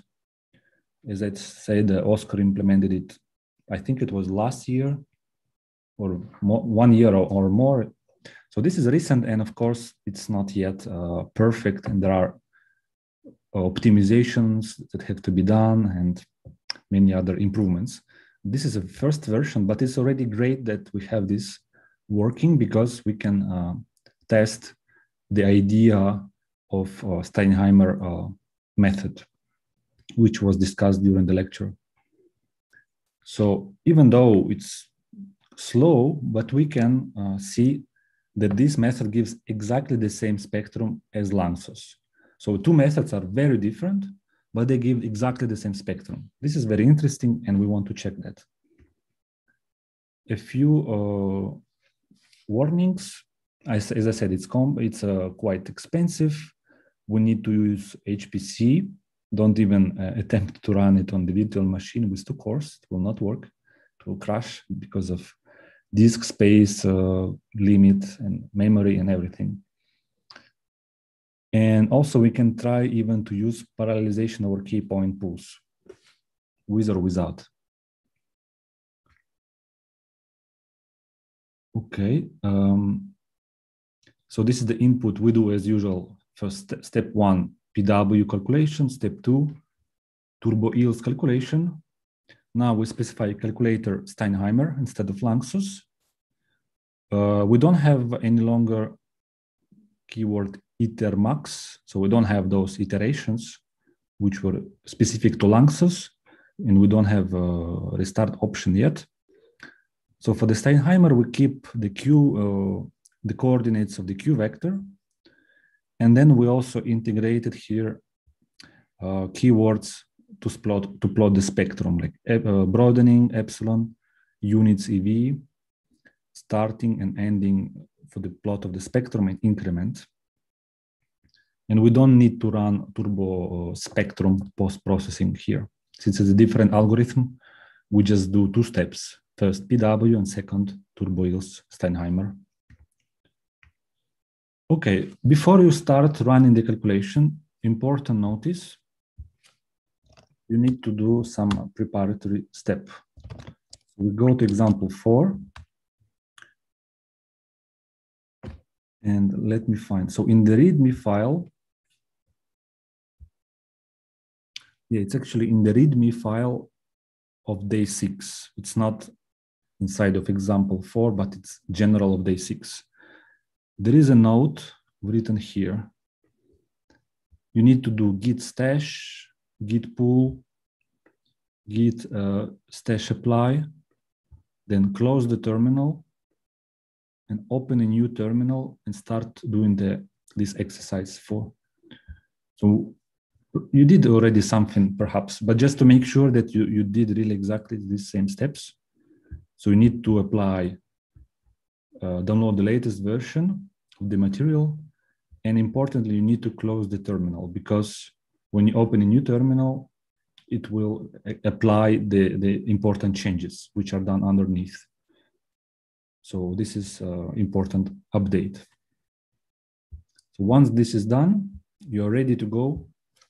In example four, we run the PW calculation, which is taking a few seconds, remote MPI run pw.x minus input pw. Okay, let's check.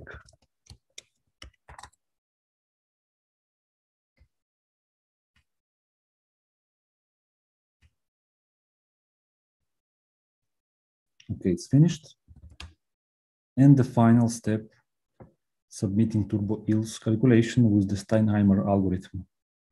So we type remote SQ, oh, sorry, uh, remote MPI run,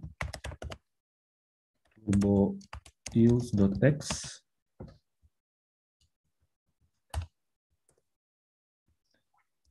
Oops. and turbo Sternheimer. Remote MPI run or oh, remote SQ. Okay, so it's running. So note that this calculation will take two, two hours using 20 cores. As I told you, this is very expensive because the code is not yet uh, optimized.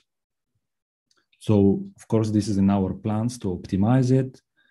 make much faster, much, uh, make it much more efficient. But just as a proof of concept, we can use this uh, implementation to compare with Lanczos algorithm. So I don't recommend to use a Sternheimer algorithm for production purposes. You should rather use a Lanczos algorithm with TurboEELS code.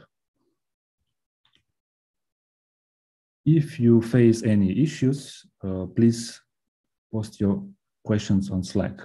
But if uh, it doesn't work, don't worry, because of course it's a very complicated example. But if you really want to, to, to make it successful and complete it successfully, then we are uh, available on Slack to discuss. So it will take two hours, but let me show you the final result. This is the, the, the spectrum, EELS spectrum of bulk silicon computed using Lanczos, the blue line, which we just uh, uh, discussed in example three. So this is the converged one, the blue one, using 500 steps with extrapolation. And red dots, red circles are the one which we are computing now using Sternheimer. But you can see the two spectra are really on top of each other. But Lanczos is more computationally efficient algorithm because as Oscar said, we, we need to do just one Lanczos uh, calculation. It doesn't depend on frequency. So all frequencies are done in one shot. So we see we can have as a accurate step as we want in frequency. While with Sternheimer, we need to do each calculation for each frequency. That's why we have the discrete number of points. We computed just 31 points because each point is a separate calculation. It's very expensive calculation. So if you want to have a denser, uh, denser uh, spectrum, like smaller distance between points, so you have more calculations to do, so more computational cost. While for Lanczos, it doesn't matter. Uh, you can expand to 100 TeV or or as, as large as you want at no cost. Just, I mean, you need to keep in mind that if you go high in energy, you you start um, touching uh, excitations from the core levels. So if you want to have also excitations from the core levels, you need to make sure that your pseudo potential has those uh, levels included. Typically, core level, I mean, the idea of pseudo potentials not to have core levels, but uh, I was referring more to semi-core levels, like uh, deeply lined d electrons, maybe at around minus minus 20 electron volts, minus 30, up to up to 100. But if you are interested in the core uh, core level spectroscopy, which is core level EELS, so this code is not uh, appropriate because this is for valence valence uh, loss spectroscopy we're not studying here core, core level spectroscopy. Okay, and the, the last point, uh, convergence with respect to the K-point mesh. You can do it either with Lanczos or Sternheimer, of course. So better to go for Lanczos because it's way more efficient. And you see that if you use K-mesh 444, the spectrum is not smooth, not converged.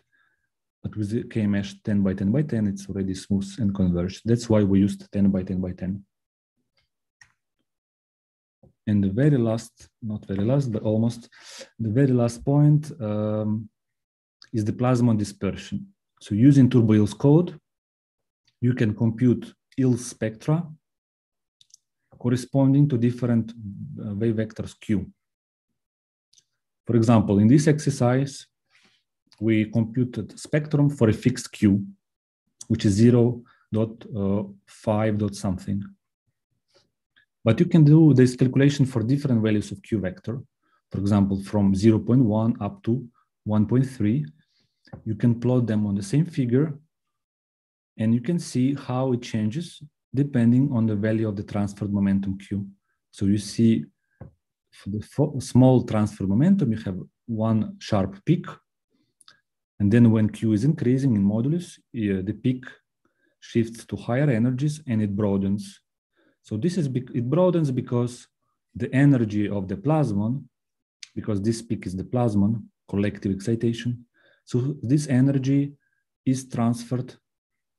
Uh, it, so plasmon enters in the electron hole continuum, that is to say, the energy of the plasmon is transferred to, uh, to electron and hole.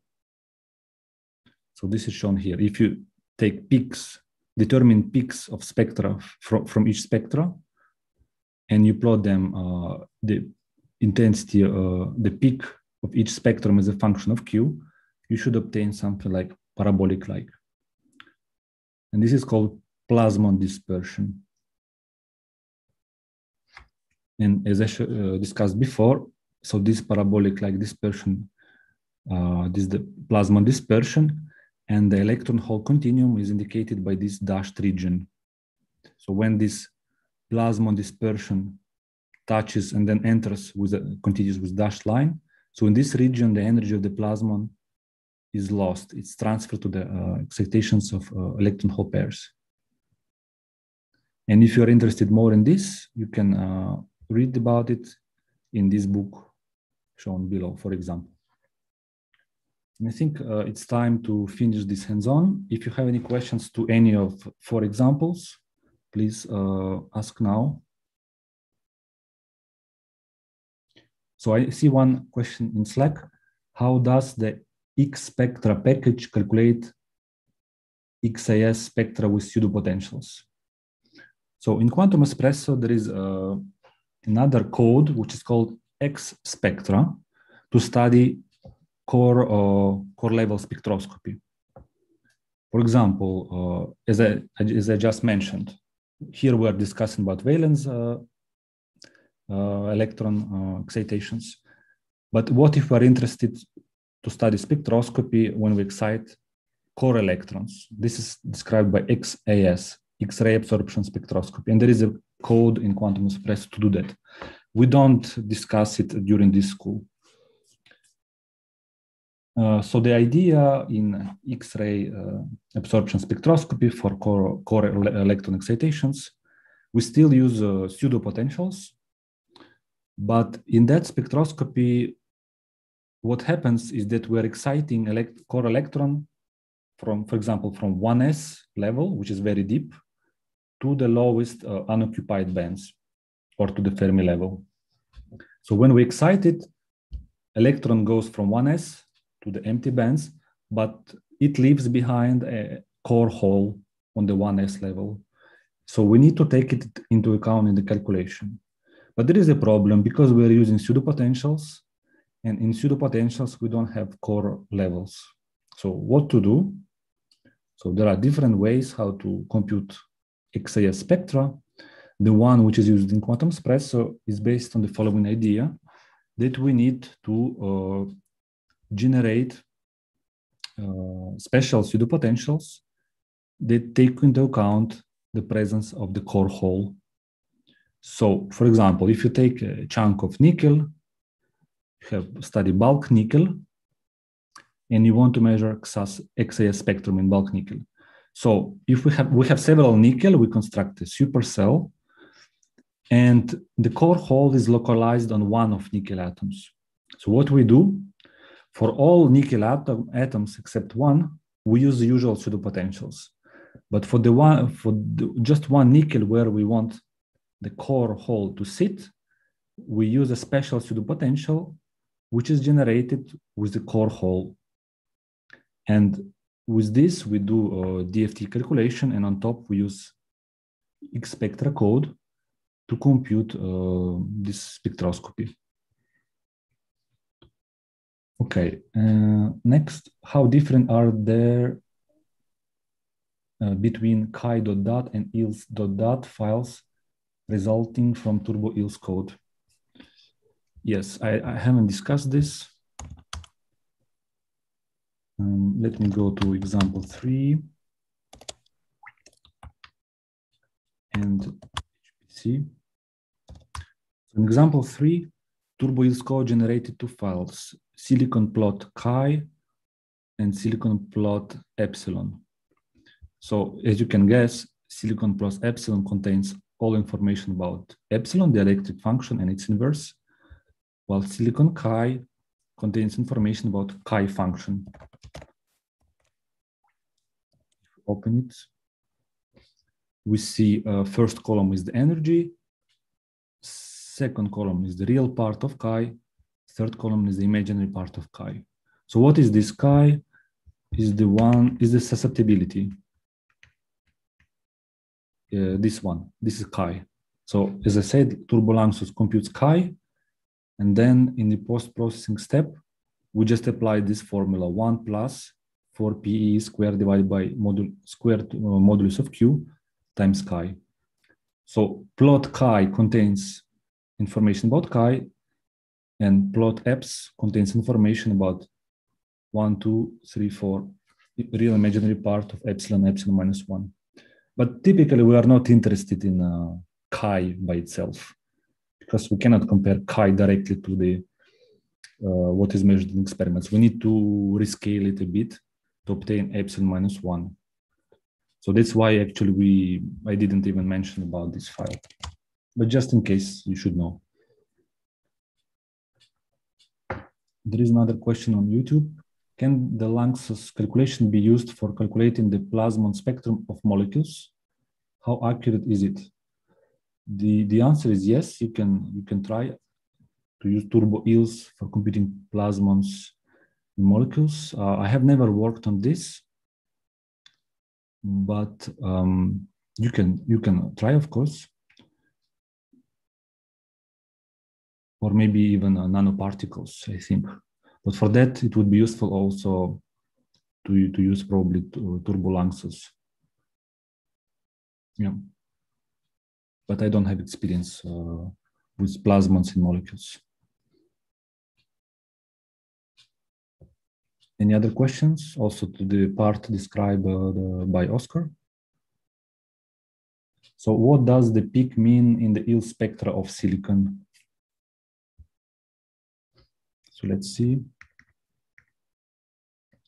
So the, this peak means, so the red spectrum is the EEL spectrum, and the, the peak is the plasmon.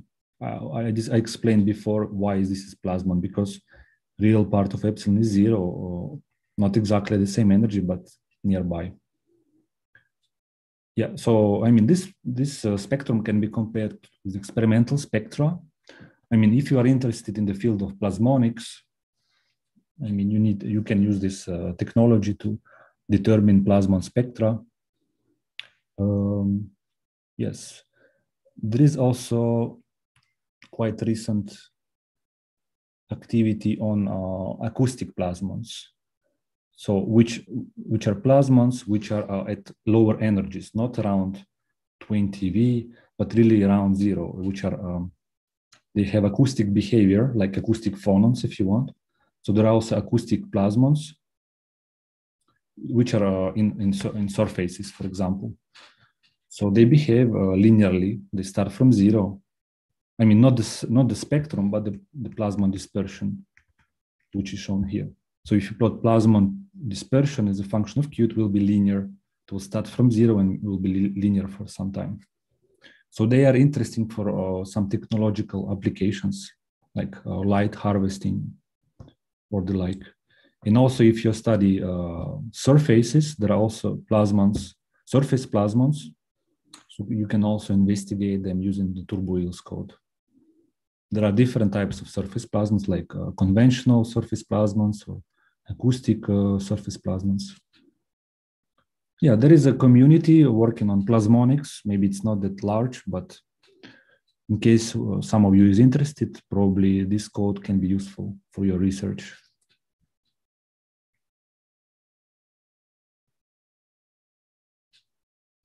I think someone is typing on Slack. You can also raise your hand. We have a couple of minutes left.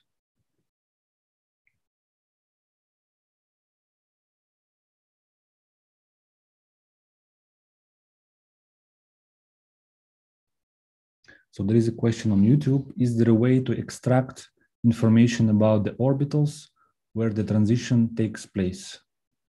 So I guess this is uh, about molecules, correct? absorption spectroscopy in molecules. So if Oscar wants to answer, if not, I can answer. Yeah, uh, with uh, Casida, uh, with the Davidson, you can uh, see the initial and virtual orbitals involved in the excitation. With the Lanczos, this is not possible because sorry, we use only the occupied states. Yes. The limit of the Lanczos uh, algorithm.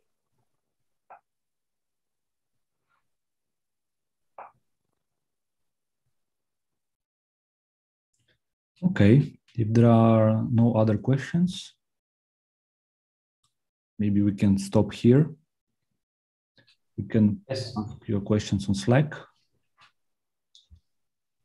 Yuri, just one thing. Thank you really much uh, from and uh, Oscar as well from Udoganail. But this is your last lecture, so you've been giving several lectures in this school, Yeah. and uh, as usual, those uh, resulting very clear and uh, and and very very well organized. So it's evident the effort behind it. So thanks, thanks Yuri, thanks a lot.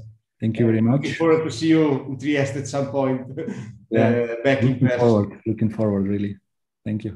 Okay, so you can cl- we can close the session here, and we'll be back at uh, two thirty chest, so Central European Summit time for the keynote of today. Enjoy your meal.